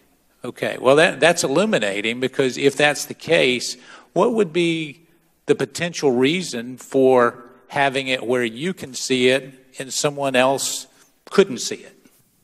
Uh, This was, again, a server that was already in existence for the use of President Clinton's office, and I think it provided a convenient and what was intended to be a reliable solution for her personal email.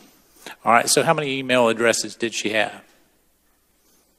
She primarily used one email address at a time. Yeah, how many, how many did she have? Because I notice in her emails, they have numbers behind it and everything else, so how many different emails? if you, if you count her AT&T email address uh, as one, and then two others on the Clinton domain that I'm aware of.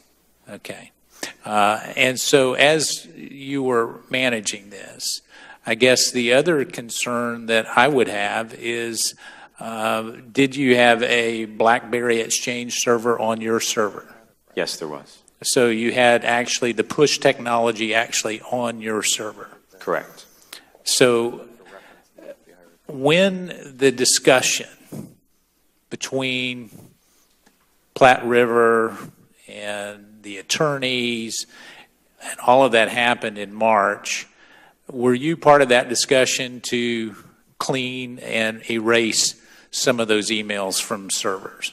I was not at all part of this discussion. All right. Is it commonplace when you have a discussion about erasing emails and archived emails to have an attorney on a discussion with a client? Is that common? I mean, I was in business a long time. It never happened with me. That's not something that I have the ability to comment on. Well, you have an ability to comment on it. You may choose not to. I have no opinion on, on that. Well, are, have you ever been part of a conversation to erase emails where there's been an attorney there to advise you on the advisability of that? Have you personally? I Yes or no? I personally have had no experience in that situation. Okay, all right. So let me finish. You said that you're paying for your attorney's fees here. Correct. Have you ever been reimbursed or have you ever had any potential reimbursement for fees, for attorney's fees from anyone other than your own personal uh, accounts? No. Do you anticipate any reimbursement? No. All right, I yield back. We'll now go to the gentleman from Georgia, Mr. Hice, for five minutes. Thank you, Mr. Chairman. Um, I want to begin by saying what I think is the feeling of many in this um, committee today, just how shameful it is that so many of our witnesses are no longer here. Uh, and frankly, the appearances they could care less about our national security and are more cons- less concerned about defending our country than they are in either being absent or pleading the fifth. And as was brought up earlier, Uh, they're, they're willing to meet with and talk with others, those who had the potential of prosecuting them. Who knows what possible deals have been made in some of those discussions, but they refuse to meet with us and begs the question what in the world are they hiding? And so I want to thank you, Mr. Cooper, for your courage and your willingness to be here with us today and to provide some answers. It means a great deal to us. Did Secretary Clinton at any time have more than one device? I- don't recall specifically her having uh, more than one email device, though I, I have come to learn that at some point she had uh, some iPad devices that she may have used simultaneously with the Blackberries. So there is a possibility she had more than one device at, at a time. It's Possible. Um, you have referred to yourself many times as not being an IT expert. At any time, did you consult cybersecurity experts when you were setting up her initial server? The initial server, we consulted with Apple and their business solutions program to set up that server, and uh, of course, later we consulted with Mr. Pagliano for those purposes. Okay, and uh, from any department or agency in the government, did you consult with at all? No, no, no consultations of that type. Okay. Uh, when you referred earlier to some of the uh, hacks that were taking place, the uh, uh, brute force and so forth, with some degree of regularity, did you report those hacks or potential hacks to the FBI or uh, Secret Service or any other agency? As I mentioned earlier, when we first uh, experienced some of the uh, repeated failed login attempts, I reported them to the Secret Service. Okay. Um, did any of the, um, do you know if anything was done when that when it was reported? Did they come to investigate or search anything out? The Secret Service reviewed some of the logs from the server and made some recommendations to Mr. Pagliano about uh, the possible origins of those uh, failed logins and some techniques he might use to mitigate that problem. Did any of the, uh, be it agencies or other cyber security experts, express any concern over this being a private server or use of private emails? Not directly to me. So even when they came and did some investigation and some research, that question was never brought up to you? Correct. Uh, how does BleachBit work? Are you familiar with that? I'm not familiar with that. Um, well, it seems to me, Mr. Chairman and Mr. Cooper and everyone in this room, uh, and everyone in the country for that matter, uh, I mean, we know how absolutely dangerous it is, the potential dangers of information getting in the hands of our adversaries. Um, and you've related that that possibility exists dramatically. In fact, Director Comey was right when he said that I, I, I, thought he was being very polite when he said this is extremely careless what has taken place. And unfortunately, Mr. Cooper, you're right in the middle of that. As the chairman brought up a while ago, we have nations coming after us, and here you are standing up as a defense to try to keep security from being leaked out to professionals and countries. And I, I, the, the words of Director Comey have to be directed to you as well. This has been extremely careless what's taken place. Um, and your handling, frankly, of the IT infrastructure, even in the midst of admittedly not being an expert in this field, uh, to me shows absolute disregard for our national security. And, Mr. Chairman, I'm grateful for your continued uh, commitment to pursue and to try to get to this, and those who refuse to answer our questions and plead the fifth to protect their own hide as opposed to protecting our national security, again, it's shameful. But I thank you for pursuing this, Mr. Chairman, and I yield back. Gentleman yields back. Now recognize the gentleman from Texas, Mr. Hurd. Thank you, Mr. Chairman. Um, Mr. Cooper, thank you for being here. Um, I know you've, you've said many times you're not an expert in computer security, so I'm, I will not try to get um, too detailed. Uh, my, my first question is Have you ever worked in the federal government before? Yes, I worked uh, in the White House in 2000, 2001. Did you, were you involved in handling classified information? No. Did Mr. Pagliano work for you? I'm sorry, can you clarify what you mean work for me? So, so you were responsible for setting up these servers, is that correct? Uh, I oversaw the setup of these servers. So, who was your boss? when you were setting up the servers? President Clinton was my boss. And when you set up the servers, did you you've reached out to the services of Mr. Pagliano at some point? Is that correct? correct? And so, was he your consultant? Yes, he was a consultant. Was he working at State Department at the time? Uh, at the initial setup, he was not working at the State Department. While he was working at the State Department, was he involved in providing consultative services to your organization? Yes. Is that normal? I have no basis to judge that. So, as the person responsible for setting up the servers, you did you ever engage a third party to do stuff like technical vulnerability assessments or penetration testing? I left that responsibility to Mr. Pagliano. And Mr. Pagliano was responsible for these servers from the beginning of the creation of these servers? He was not responsible for the Apple server. He was responsible from the transition of the Apple server to what we call the Pagliano server and through the duration of the Pagliano server.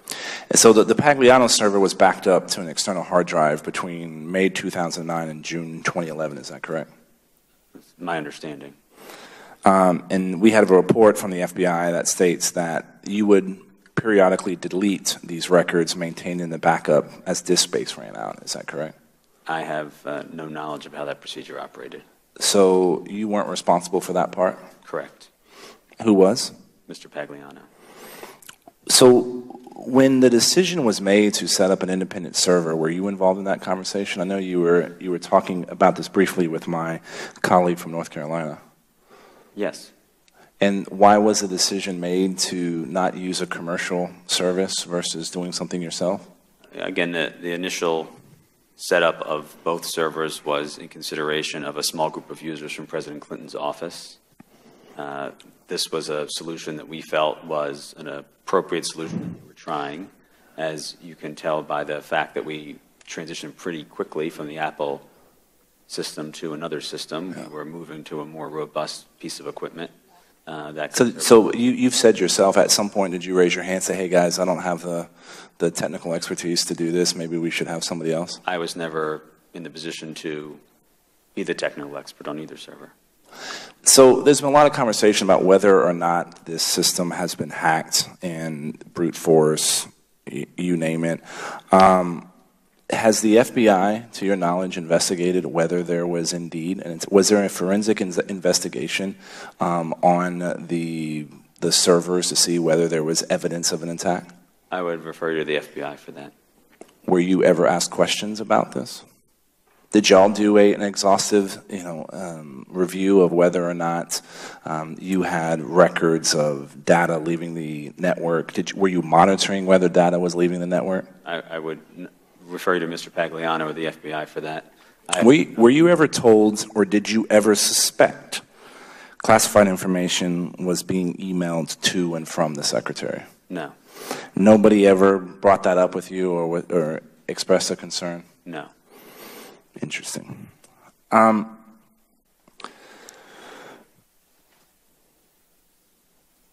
do you think that common practices for good cyber hygiene was used in the development of these servers? I'm not wholly familiar with what common practices are, but I can say that I believe some common practices were likely used. And who were you using for guidance on what was good, good digital system hy- hygiene? Mr. Pagliano? An app on the original device. Now, you, you said Apple a few times. Is this like you went into the, the, the help desk the, at, the, at the mall? Like, I, we had an agreement with Apple's business service program at the time that spec the equipment that we were going to use, set up the system, and installed it. excellent. Uh, Mr. Chairman, I yield back. Uh, I th- thank the, the gentleman. We're now going to go to the gentleman from Alabama, Mr. Palmer, for five minutes. Thank you, Mr. Chairman. Um, Ms. Abedin and Ms. Hanley indicated the whereabouts of Clinton devices would frequently become unknown once she transitioned to a new device. Um,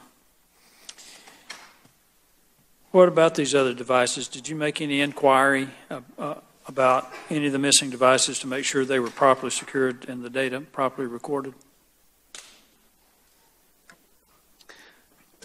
I can say with some certainty, whenever there was a transfer from one device to the next, there was always the, the goal and the process to transfer all the data from the previous device to the new device. Um, you're specifically, I believe, asking about what happened to the devices that I know that I personally did not dispose of. Uh, I can't speak to that. I, I believe that, uh, you know, I may have asked those who were in the process of doing that for Secretary Clinton to also properly dispose of them by rendering them So you, you were responsible for setting up the servers and, and these devices. Is that Mr. Pagliano set up the Pagliano server. Uh, for someone to transfer to a new BlackBerry device, it simply requires someone to tell the server that there's a limited period of time for a user to log in with a one-time But when, but when you transition from one device to another, what, did you have any responsibility in uh, handling the, the, the um, device that was no longer being used? What did you do with that? We understand you did something with some devices. On occasion, I was the person who made the transfer, and when I was complete with backing up the information, ensuring that it was on the new device, wiping the old device, I rendered them unusable in other manners, yes. are you aware that there's a missing laptop and external storage device? I'm aware of that based on the reading of the FBI report. Um, uh, so you, you did know about it. Uh, do you uh, know that uh, the report was that it was lost in the mail? That's as much as I know. That's as much as you know. You don't know. Um, do you know who mailed it? I have no details about that. So if you don't know who mailed it, you don't know who it was sent to. Um, you, you are, as Mr. Hice pointed out, aware that uh, Director Comey described Mrs. Clinton's use of a personal server and her handling of classified material as extremely careless. You, uh, you, you were aware that, that he said that. You read the FBI report. Yes, I'm aware of the report. In your handling of Mrs. Clinton's servers, did you have any concerns that her use of, pers- of a personal server and the use of outdated technology on her cell phones might be a problem? I viewed her use as personal use of a BlackBerry and of the server, and that we kept up to date over a period of time. You've been around the Clintons uh, uh, for a pretty good period of time, haven't you? Yes. Um, and you're aware of, of the highly sensitive material that Mrs. Clinton, as Secretary of State, was handling uh, that would pass through her communications devices and her servers through through her email. You you certainly had to be aware that that there was sensitive information. If I was generally aware that Secretary Clinton encountered sensitive information, sure. How that was transmitted to her was not something that I was specifically aware of. I mean, this guy didn't. So. But in your disposal of, of these devices, and, and you said you made sure they were wiped and, and you took other measures to dispose of them, did you receive any instructions or any training uh, about uh, making sure that the data on those systems were properly recorded? Did anyone talk to you about that? I had no specific instructions around that. Um, would you consider your handling of, of, of, of these devices as possibly careless? And, and I ask you that, and, and I think you're, you've been a good witness. I, I appreciate the fact that, that you stayed. Um, but in listening to Ms. Lummis' uh, questions and, and, your lack of knowledge of, of um, some of the, the cyber technology, the cyber uh, protection technology, and things like that, my concern is is that it's almost an atmosphere of, of indifference and, and I really hope that's not the case because this is not, although some of our colleagues on the other side of the aisle try to make this about her candidacy, it's really about our national security and how we handle things going forward. And that's the great concern, I think, really the prevailing concern that this committee has is that we make sure that our that we don't put our national security at risk, we don't put our intelligence officers at risk, and that's my big concern, and, and particularly with this missing laptop that, that apparently no one's made an effort to recover. I thank you, Mr. Chairman. I yield back. Thank the gentleman. We'll Now recognize the gentleman from North Carolina, Mr. Walker, for five minutes. Thank you, Mr. Chairman. I'd like to start just by making a couple statements. A lot of times we're hearing some back and forth of, of really who to believe. So uh, I found it interesting that I believe there's three different times today uh, that our friends to my right have not been necessarily truthful in some of the accusations they have made. Uh, number one, I believe that uh, one of the members talked about this as some kind of relentless pursuit of Republicans trying to damage Secretary Clinton's presidential chances or hopes, and at the same time, this is some kind of photo op. Well, let me remind everybody, if we could just pause for a moment and remember what uh, Director Comey said. He said this was, as, was an investigation not caused by Congress but rather the inspector general from the intelligence that we're able to gather. So let me just put that on the record, making sure this has not been Republican driven. This was Inspector General FBI. Another thing they've tried to make a case for is this is some kind of Republican witch hunt. I specifically asked Director Comey, did he feel this way? He said no, he did not. In fact, he said it was not a witch hunt. And then today, uh, we hear our Democrat friends say that there is no evidence that emails were hacked. Well, on January the 9th, 2011, uh, Mr. Cooper, you became aware of an attempt to hack Hillary Clinton's private email server. Is that correct? Uh, I believe you're referring to an email that was in the, the FBI report, and uh, as I, you may not have been here earlier in the hearing, uh, I said that I was using the word hack colloquially, uh, so I thought people would understand. And what this was was a series of failed login attempts. And one of the earliest occurrences of this, the way that we managed to put an end to them was to shut down the server for very brief periods of time. Yeah, I was here earlier and heard you share a little bit about that. Uh, do you agree that there is no evidence that this server could have been hacked? I can, the best of my knowledge, just to refer you to the FBI report who did the forensic analysis on this. But you don't have a kind of a, a take on it, I even have though you were. no knowledge that there was a successful hack on this. You aware of how many times the Russians and the Chinese try to attack us on a daily basis? I'm not aware of Not aware of that. And make sure this was on her private server. Is that correct? Not a State Department or a government protected server. Is that correct? Correct. This is a private server. No. It's just it's interesting that it, that it, if it wasn't to uh, what you consider uh, maybe a hack status, you emailed her twice that day. How often did you normally email Mrs. Clinton in, in, in a given day? I believe the email was to Ms. Abedin. Uh, again, this was one of the first or second occurrences that something like this was happening. So Mhm. I was just making her aware more that the email services might be offline for a few moments. Sure. In the weeks before, how many times did you send an email that was in the same reference? I don't recall and ever sending a great volume of those emails. So this was a this was the first time that you'd ever sent something like that. I can't say specifically it was the first time, but Pretty rare, though, you would think. Yes. Okay. Yet at the same point, you're now describing it that that the hack was probably not the best description of it. Correct. But you were concerned. I was mostly in the email making her aware that I was shutting down the server for a brief period of time. Were there any other times or attacks that you were aware of that you felt like that uh, was a, put the server in a vulnerable position uh, when was, Ms. Clinton was in possession of this server? Any other op- times in a row?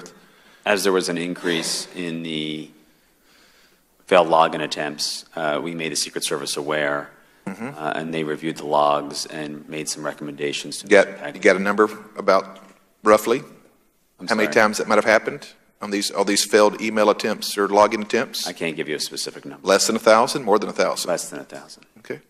Uh, in, in just closing here, and I'll yield back the rest of my time here. Uh, you might have mentioned this earlier as well, uh, in, in having to do some questioning right outside here. But but can you re- remind me uh, again how you were compensated?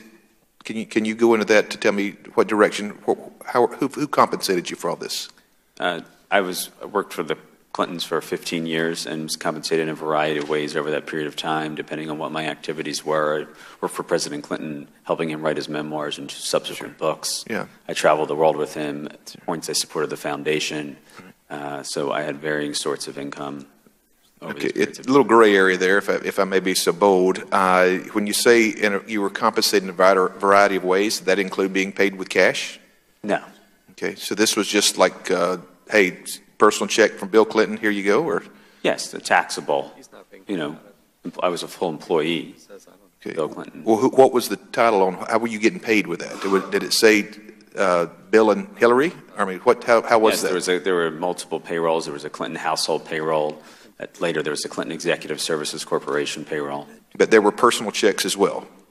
They were through a uh, employer services company that managed the payroll. Yes. Okay, all right, thank you, Mr. Chairman, I yield back. Thank the gentleman. We'll now recognize the gentleman from Oklahoma, Mr. Russell, for five minutes. Thank you, Mr. Chairman. And uh, thank you, Mr. Cooper, for your patience and also uh, your answers that you've provided the panel today. Uh, you alerted uh, folks to possible breach attempts uh, and were concerned, obviously, about the security, as we've heard in your testimony today.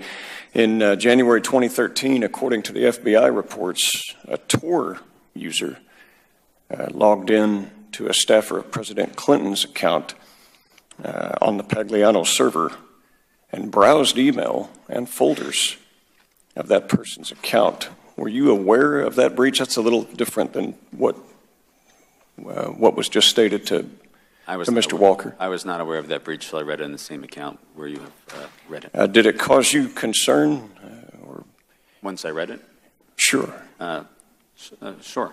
Uh, in the spring of 2013, which would have been proximate to this same thing, according to the FBI, Sidney Blumenthal's AOL account was hacked by Guccifer, and Mrs. Clinton's email exchange with Mr. Blumenthal was made public.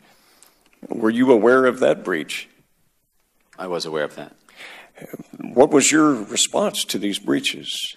At, at that point in time, I was uh, transitioning out of any role or responsibility with the server as the various teams were selecting, was ultimately Platte River Network to take over uh, the email services. And uh, I don't know that I had any sort of direct response. Did you believe that there was sensitive information? Uh, certainly, uh, it would qualify as very private, uh, being uh, the position that Mrs. Clinton held. Certainly, private information. Concerned that that you know you would have naturally concerned that that information was properly backed up and, and secured.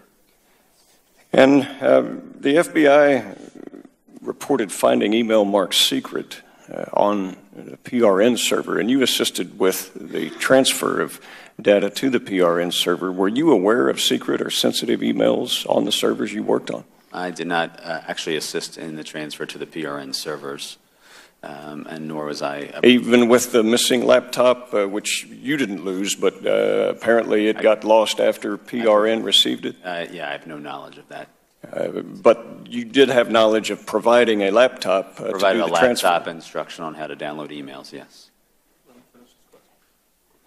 Now, Mr. Cooper, you conveyed uh, to, I believe it was Mr. Meadows, and we appreciate the, the insight you've given us that uh, Huma Abedin assisted in arrangements on the use of the private server when all of this was being set up. Is that correct? Yes. Uh, did you create or did Huma Abedin uh, or Cheryl Mills or Jacob Sullivan have a user account on the private server? Huma Abedin had an account. Huma, Huma Abedin did have an account. And Mr. Cooper, are you aware that in the FBI report it states on page 10 that Mrs. Clinton's immediate aides, to include Huma Abedin, Cheryl Mills, and Jacob Sullivan, told the FBI that they had no knowledge of the existence of a private server until after Mrs. Clinton's tenure at state. But that would have not been true, would it? I can't speculate on what their comments were. Well, I know you can't speculate on what their comments were, but you just stated that Mrs. Miss Abedin knew of the server. She had an account on the server, so how is it possible that she could not have known about a server while Mrs. Clinton was at state? I can't speak to her recollection of when she knew, but she was, I can tell you. But that would be contrary to the facts, wouldn't it?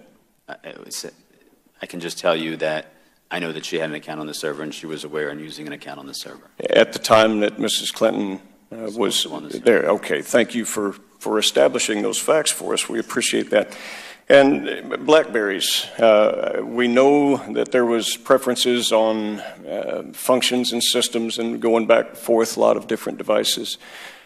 And we also know that there was one BlackBerry that was uh, provided from state, but they sent it with a warning that, look, all of this could be Freedom of Information Act, uh, therefore, you know, go in with this understanding. And so they elected to not use that BlackBerry. There were other BlackBerries used associated with the server, which we've determined. How were they obtained? Were they third party uh, obtained? Obviously, it wasn't through state because there was only one that we know about. Maybe there were more. I, I can't speak to them being uh, obtained by the State Department. I have no Okay, were they obtained through third party or how Our were other they obtained? Blackberries were typically, uh, to the best of my recollection, just obtained from the service provider AT&T, who we had account with to service those phones. Okay, so they weren't obtained by third party like eBay, Amazon, something of Not that to nature? my knowledge. Okay. All right. And uh, with that, I'm, uh, my time has expired. Thank you, Mr. Chairman. Mr. Chairman, just one, one question of the gentleman.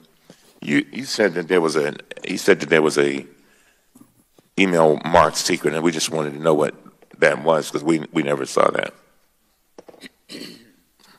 I'd just like to I'll- see the I'll let you, I'll let you work that out with Mr. Russell. I will now recognize Mr. And I want the record to be clear if it's not one. All right.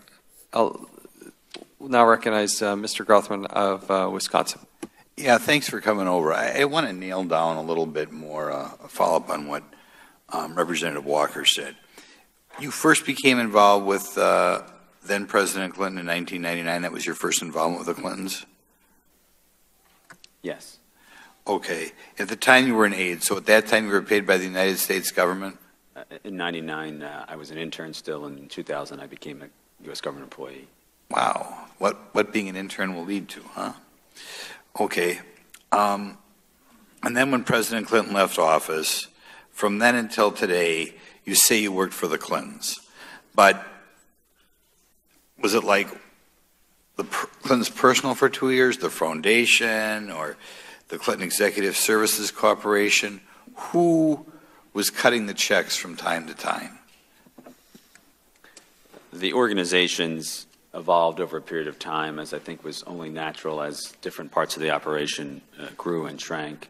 For a period of time, uh, I was in the transition office from President Clinton for the first six months out of office. I then worked for him uh, in support of his efforts to write his memoir for almost four years. Okay, so then it was Bill personally? Uh, a combination with the, the book publisher. And then following that, worked on what was the Clinton household payroll for a series of years. Okay. Could you get us a, a list, just because I want to kind of see, you know, where you were involved in the thing? I hope it's not too much bother.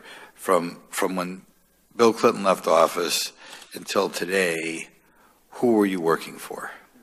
See what I'm saying?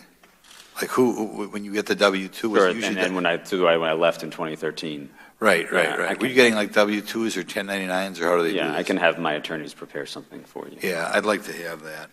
Um, next question. When you interacted with the Clintons, did you usually hear from Bill directly, Hillary directly, Huma? Who, who was the person you usually heard from? I primarily worked for President Clinton and worked with him on a day-to-day basis. Okay. Did you ever get emails from Huma or, or uh, Hillary? Certainly. Okay, like once a month, once a week? I couldn't t- tell you what the frequency was. Often it was coordination between the, the family to organize their schedules. Okay. Did you have any coordination with the foundation, or did the foundation ever employ you? Yes. Okay. Um, when you heard about the foundation, who was your contacts there? Did uh, I mean, who, who was your contact with the foundation? Bill again? Over, yeah, over time, uh, there, you know, a lot, many different people work for the foundation. Primarily, my role with the foundation was in supporting President Clinton's activities with the foundation. Okay. Did you ever hear from Huma or Hillary about the foundation? Uh, at varying times, they participated in foundation-related events over the lifetime of the foundation, from when we left the White House through the Okay. period. Did the, when did the foundation kick in? When, when did, I can't remember when that thing began. Uh, you know, officially, the campaign, camp, uh, foundation was launched as we were leaving the White House in support of the Presidential Library and developed programs over time from that period. Before it became the charitable institution it eventually became. Correct. Okay. Um, did you receive emails from Secretary Clinton or Huma connected to State Department business? Not that I recall. Secretary Clinton, on occasion, had forwarded me documents to print. Okay. Usually, when they'd contact you, her or Huma would be foundation business or personal business. I would say personal business. Can you give me an example of personal business? Asking where President Clinton was, if he was available, something that may have been going on in their household. Okay. Um, I tell you what I'll do. I'll, I'll leave the remainder of my time to the chair. But I, I would like, I would like to see, you know, a chronology of, you know, this is who I got the W-2s from in 2002, this 2003, this 2004. I'll give you one more question. Was it usually just one person cutting the check each month? Were there months in which you got a check from Bill personally and the foundation? It varied over different periods of time. Okay. I think the gentleman, Mr. Mr. Cooper, who do you, who are you employed by now? I have my own uh, consulting firm and have a variety of clients that I work with to help them with their thought leadership, uh, to identify. Does that include any of the array of Clinton entities? Uh, no, it does not involve any current Clinton entities. Or pers- people or anything like that? People, I'm, I'm, if you could clarify, I'm sorry. It- it- it- There's, there's not involving any of the Clintons, no. Okay, thank you. All right, we'll now recognize the gentlewoman from New York, Ms. Maloney. Uh, th- thank you, Mr. Chairman. I'd, I'd like to uh, begin by uh, quoting Bernie Sanders. He uh, famously said in one of the debates, he said, Enough, enough of these emails. And I, I think that uh, those of us that have sat through this hearing today can, can say the same. We, we're seeing a predictable pattern from the Republican Party where they come out and make all kinds of accusations that I believe are politically motivated. They make all kinds of accusations against uh, Secretary Clinton. And they, they claim, uh, they make really reckless ones that, that, that, uh, that, that are criminal accusations. Uh, and then they, they, they call for an investigation. And then the invest, investigation happens, and what comes out of the investigation does not support the accusations. And then they move on to the next email quote attack that they put forward. And this happened. We saw it with the discredited Benghazi hearings and accusations and reports and reviews, uh, where the FBI and other independent uh, investigators found no evidence, none whatsoever, of a crime with the emails. And so, what do we have again? Another accusation uh, claiming email uh, criminal activity. Now, this latest one is that Secretary Clinton and her top aides ordered the destruction of emails to conceal these emails from investigators. Uh, for example, my good friend, and he really is a good friend, uh, Representative Meadows, I heard him on national television where he claimed that the emails were deleted as a result of, and I quote, a directive from the Clinton campaign. There's no evidence to support this accusation. Uh, Chair, Chairman Chaffetz made a similar claim in his uh, criminal referral to the U.S. Attorney on, on September 6, claiming that Secretary Clinton's attorneys, uh, Kendall and Mills, issued this order during a call with Platte River Networks in March 2015. But, but these claims were already investigated by, by the FBI. And guess what? There was not any evidence to support these claims. And uh, the FBI summary explains that after Secretary Clinton's attorneys uh, finished producing her work related emails to the State Department, she no longer needed her remaining personal emails. Well, the FBI is there for a reason. They're, they're, they're there to investigate, to make determinations, and, and to come forward with conclusions. And they've concluded that there's no evidence. So why are, why are we here? Why are we trying to contradict what the FBI found? And, and the bottom line is that the FBI, based on their reviews, based on the professionals that they have uh, work, looking at this, they came forward and said, and Director Comey actually said it right before this committee. He testified, we do not find any evidence of evil intent and intent to obstruct justice. End quote. This is the head of the FBI relying on a complete investigation of his, uh, of his personnel on this issue. He also said, and I'm, I'm quoting him again, we did not find evidence to indicate that they did anything to, er, to try to erase or conceal anything of any sort. So the FBI has already uh, made their determination. So, my one question to you, Mr. Cooper, in all of your work and your understanding, your experience with all of this. Did you see anything that contradicts the conclusion of the FBI professionals and Director Comey who testified before this Congress?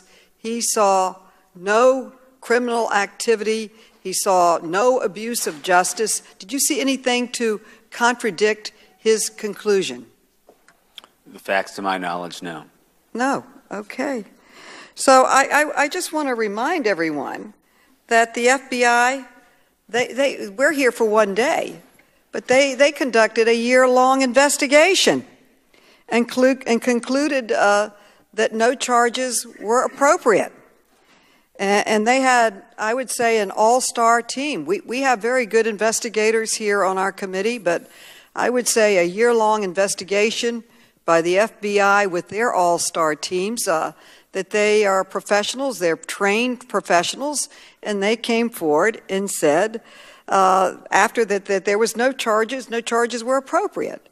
Uh, so I just uh, want to join uh, Bernie Sanders in saying enough is enough.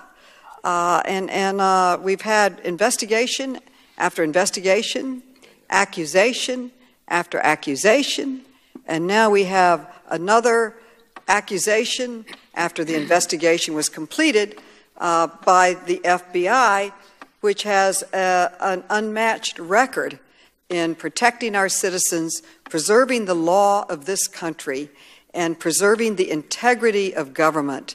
And I would say I rest my case. I listened carefully to Director Comey. Gentlewoman's time has expired. Well, now. Uh, I was just warming up, Mr. Chairman. The gentlewoman uh, is, is yielding back. We'll now recognize uh, the gentleman, uh, Mr. Smith, who's the chairman of the uh, Science, Space, and Technology Committee. We're pleased to have use seat on today, and we're thankful for the uh, close working relationship we have with the committee. We now recognize him. Thank you very much, Mr. Chairman, for inviting me to attend today's hearing to examine the security of former Secretary of State Hillary Clinton's private server. Secretary Clinton's unique server and email arrangement is of particular importance both to your committee and to the Science, Space, and Technology Committee. The Science Committee has a responsibility to examine ways in which executive branch departments and agencies and private entities can improve their cybersecurity practices. As part of the Science Committee's ongoing investigation, I have issued subpoenas to three of the companies that performed maintenance and security work on Secretary Clinton's private server. Two of the companies who received lawfully issued subpoenas for information related to work they performed for former Secretary Clinton, Platte River Networks and SecNap Inc., have refused to produce responsive documents. Both companies have purposely misinterpreted the plain language of the subpoena and both companies have stated that they do not have responsive materials, which is demonstrably false. Unfortunately, these companies' decisions to obstruct the committee's investigation and defy a lawfully issued subpoena continues a Clinton habit of secrecy rather than transparency. In fact, just this morning, and this may be of interest to the gentlewoman from New York who just spoke, SecNap's counsel confirmed to my staff that the Clintons' private LLC is actively engaged in directing their obstructionist responses to congressional subpoenas. This is a clear obstruction of justice. Americans deserve to know the truth, which is now being blocked by the Clinton organization. One of the companies, Datto, did provide responsive materials to the subpoena. These documents have shed light on the unique arrangement undertaken by Secretary Clinton to set up a private server. This includes the lack of even basic cybersecurity measures applied to the information stored on the server, such as encryption.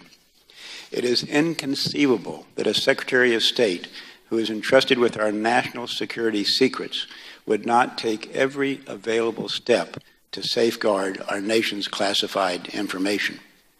The information sought through the investigations of the Science Committee, the Oversight and Government Reform Committee, and Senator Ron Johnson of the Senate Homeland Security and Governmental Affairs Committee is crucial in determining the degree to which our national security was unprotected and perhaps endangered. I look forward to continuing, to work with you, Mr. Chairman, and appreciate all the good work you have done. And if it's all right, I have a couple questions for Mr. Cooper. Yes. Um, Mr. Cooper, first of all, thank you uh, for being here today and being willing to answer questions. Um, you deserve credit for being willing to do that, and that uh, compares to those who refuse to appear today and answer questions and apparently are not interested in helping us try to find out the truth. Let me ask my first question, which is that, as you heard me say a minute ago, we heard this morning that SecNap's counsel uh, has said that uh, the Clinton Executive Services Corporation uh, in effect, is obstructing uh, at least my committee's subpoena. Do you think this is standard practice for the Clinton Executive Services Corporation? I'm, you're, I'm sorry? I'm not in a position to comment that or have any knowledge of that Have, situation. have you seen any other instances where uh, SECNAP has tried to prevent information from getting to a committee? I'm not aware of. One way or the other? I'm not aware at all. Okay. Uh, many of the documents provided by Datto Inc. include communications with Platte River Networks. Should Platte River Networks have information in its possession about its work related to former Secretary of State Hillary Clinton's server? And I, my, uh, my interaction with Platte River Networks was simply handing over some usernames and passwords, and that was the totality of the interaction that I've had with them. I've never had any interaction with, with them beyond that or with Datto. And can you say whether or not they are likely to have information about the server or not? I have no knowledge. Okay. What information, again, have you handed over to them? I'm sorry, I, I handed over you some username and passwords to them at the beginning of the transition process. Okay, thank you. Uh, thank you, Mr. Chairman. That completes my questions. And again, I appreciate the opportunity to be a part of your committee's hearing today. Well, thanks, Chairman. We, we do appreciate it. I will now recognize the gentleman from Georgia, Mr. Carter. Thank you, Mr. Chairman. And Mr. Cooper, thank you for being here and thank you for staying as long as you have. Mr. Cooper, in Secretary Clinton's New York and Washington, D.C. homes, did she have a personally owned desktop computer inside the secure areas or the SCIFs? Uh, we discussed earlier there were uh, Apple iMacs in both homes that uh, I know were in the rooms that became SCIFs, uh, predating their time becoming SCIFs. How, how do you know that? Uh, before they became SCIFs, they were both offices which I had the occasion to work out of.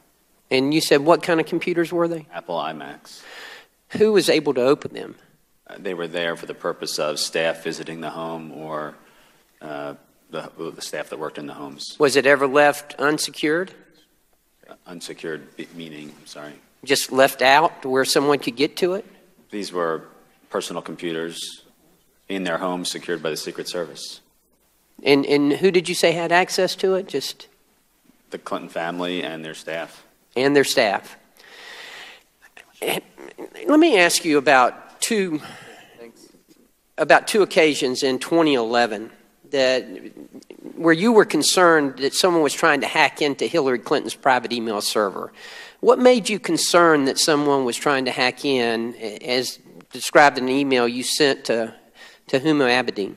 I think my concern at the time was uh, I was colloquially, colloquially using the word hack to describe what was a multiple failed login attempt on the server. And what I was really conveying to her, less so of the concern of that activity and more so that we were dealing with it by shutting down the server for a period of time, and so she should expect her email to be offline for a period of time. So later on that day, you emailed Ms. Abedin. And you, you, you said there was a second attempt. In fact, you said we were attacked again, so I shut the server down for a few minutes. Yes, I, again, And, I, I, help me out. Whenever I, I think of attack on a computer, I think that's somebody who, who's trying to get in unauthorized. I understand. Uh, I was using very colloquial language. Very colloquial lang- language. Correct. So that's not what you meant when you said attack. That someone was, These were multiple failed login attempts on the server. But wouldn't you describe that as someone who's trying to get in unauthorized? I would describe it as someone who was trying to get in unauthorized, yes. So was it the same? Was it the same attempt as was the previous day? I can't recall whether it was the same attempt or being able to determine whether it was the same type of. Did you shut the server down on that day in January of 2011? To the best of my recollection, based on the emails that you have, uh, you're describing, yes. Why? What? What good would that have done? What? What was the purpose in doing that? Uh, my understanding was that these were automated attempts, and once they did not ping a server on the other side, uh, they would stop.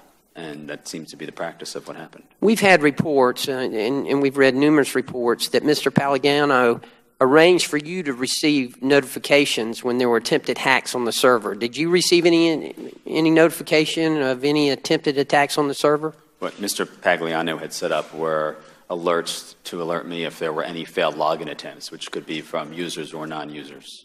Okay, I'm, I'm, I'm struggling here. Tell me the difference between a failed login attempt and a hack. So, a failed login attempt is very simply when someone tries to log into the server in one form or another, into an account or to the server itself. Okay. All right. What's an attack? I'm so- I'm sorry, with a username or a password that's not valid. So that could be a legitimate user who's mistyped their password, or who, a legitimate user whose password has expired. Okay, I get that. Just define an attack for me then. Again, the word attack is colloquial. No, no. Describe what you would define attack as. Multiple failed login attempts, trying different usernames in no specific pattern. Would you agree that most people describe attack as something much more than that? I would agree with that. Okay. We're, we, we've been told and we, we've discovered that um, Hillary Clinton's old phones were destroyed with a hammer. With a hammer. Were these phones connected to the private email server in question? Yes, I described earlier that uh, when Cl- Secretary Clinton would transition from one device to the next, we'd take the old device, back it up, make sure all of the content was transferred onto the new device, linked with the server, so any information that came from the server was on the new device. Then, once that was completed, wiped the old device using the BlackBerry tool to do so, and then on occasion I would render them unusable. Why did you use that kind of method? It seems somewhat, if you will, barbaric. I mean, a hammer to a phone? I- I think it's practical to not just throw a cold device into uh, some sort of garbage receptacle where someone might pick it up out of curiosity and try to use it. Okay, I'm, I'm, you know, I mean, here we are, and, and, and with all due respect, sir, the definition of an attack that you have and the definition of attack that I have, and I think most people have, are completely different.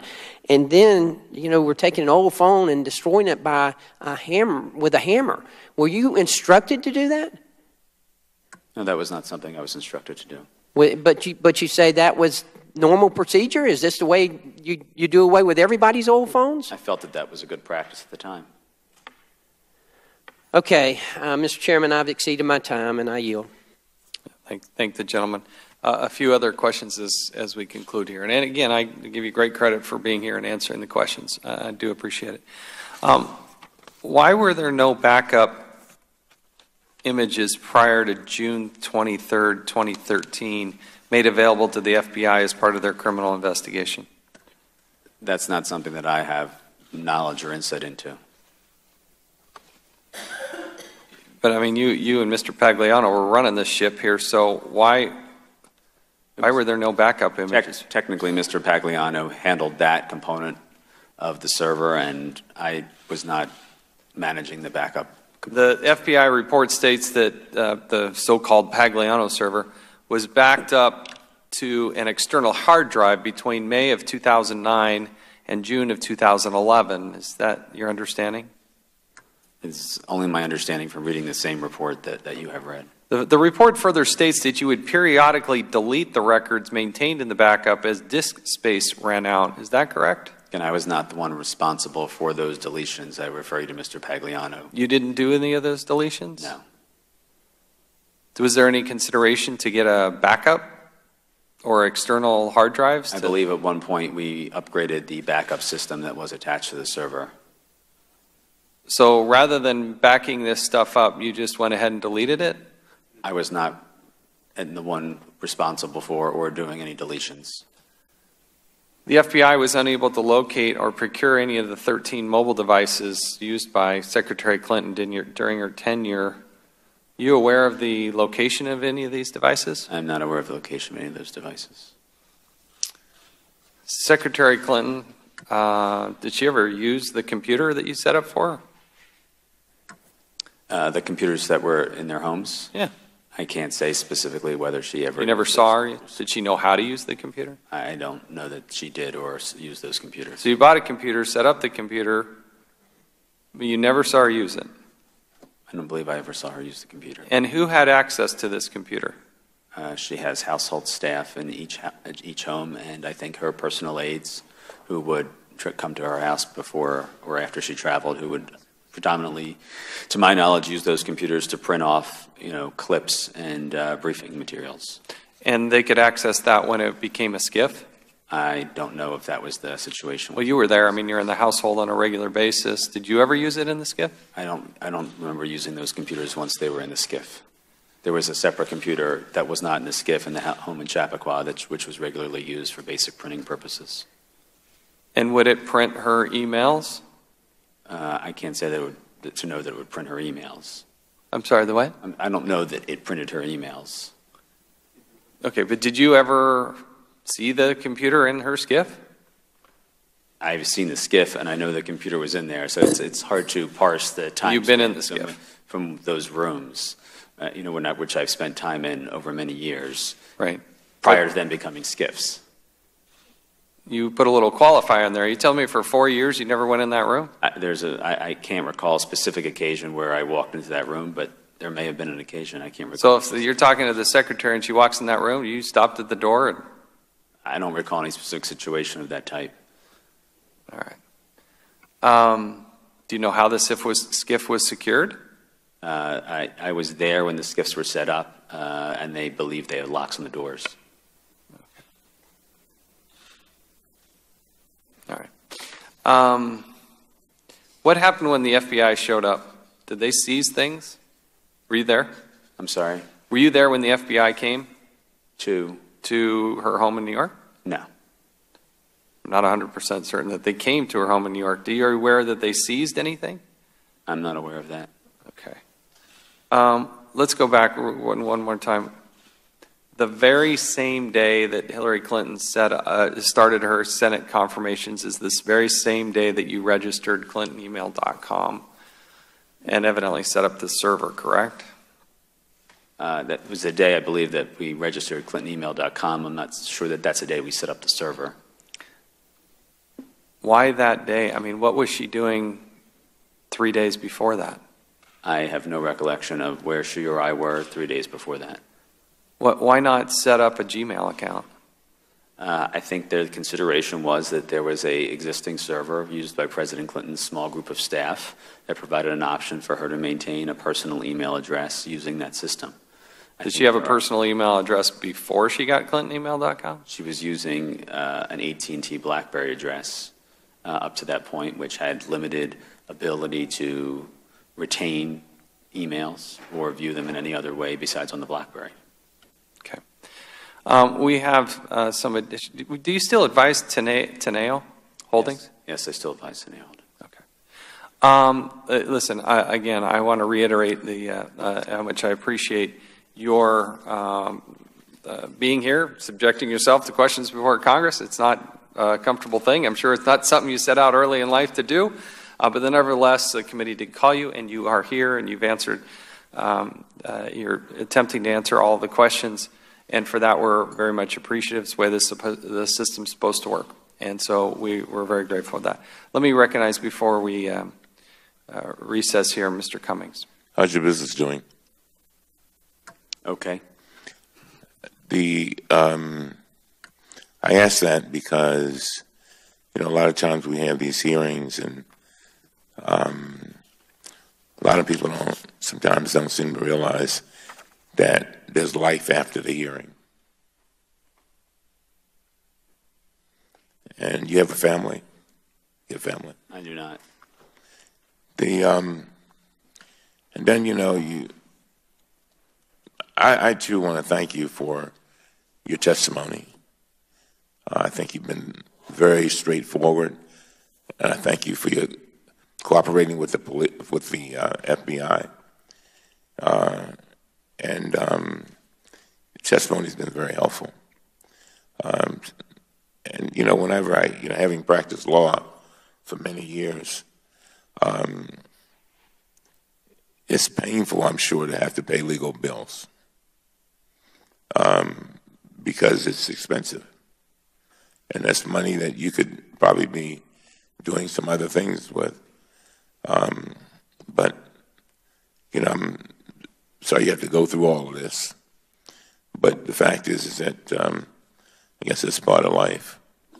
And um, but I just want to thank you very much and I can understand, um, based on your testimony, why Director Comey came to the conclusions that he did, particularly with regard to you. So, thank you very much.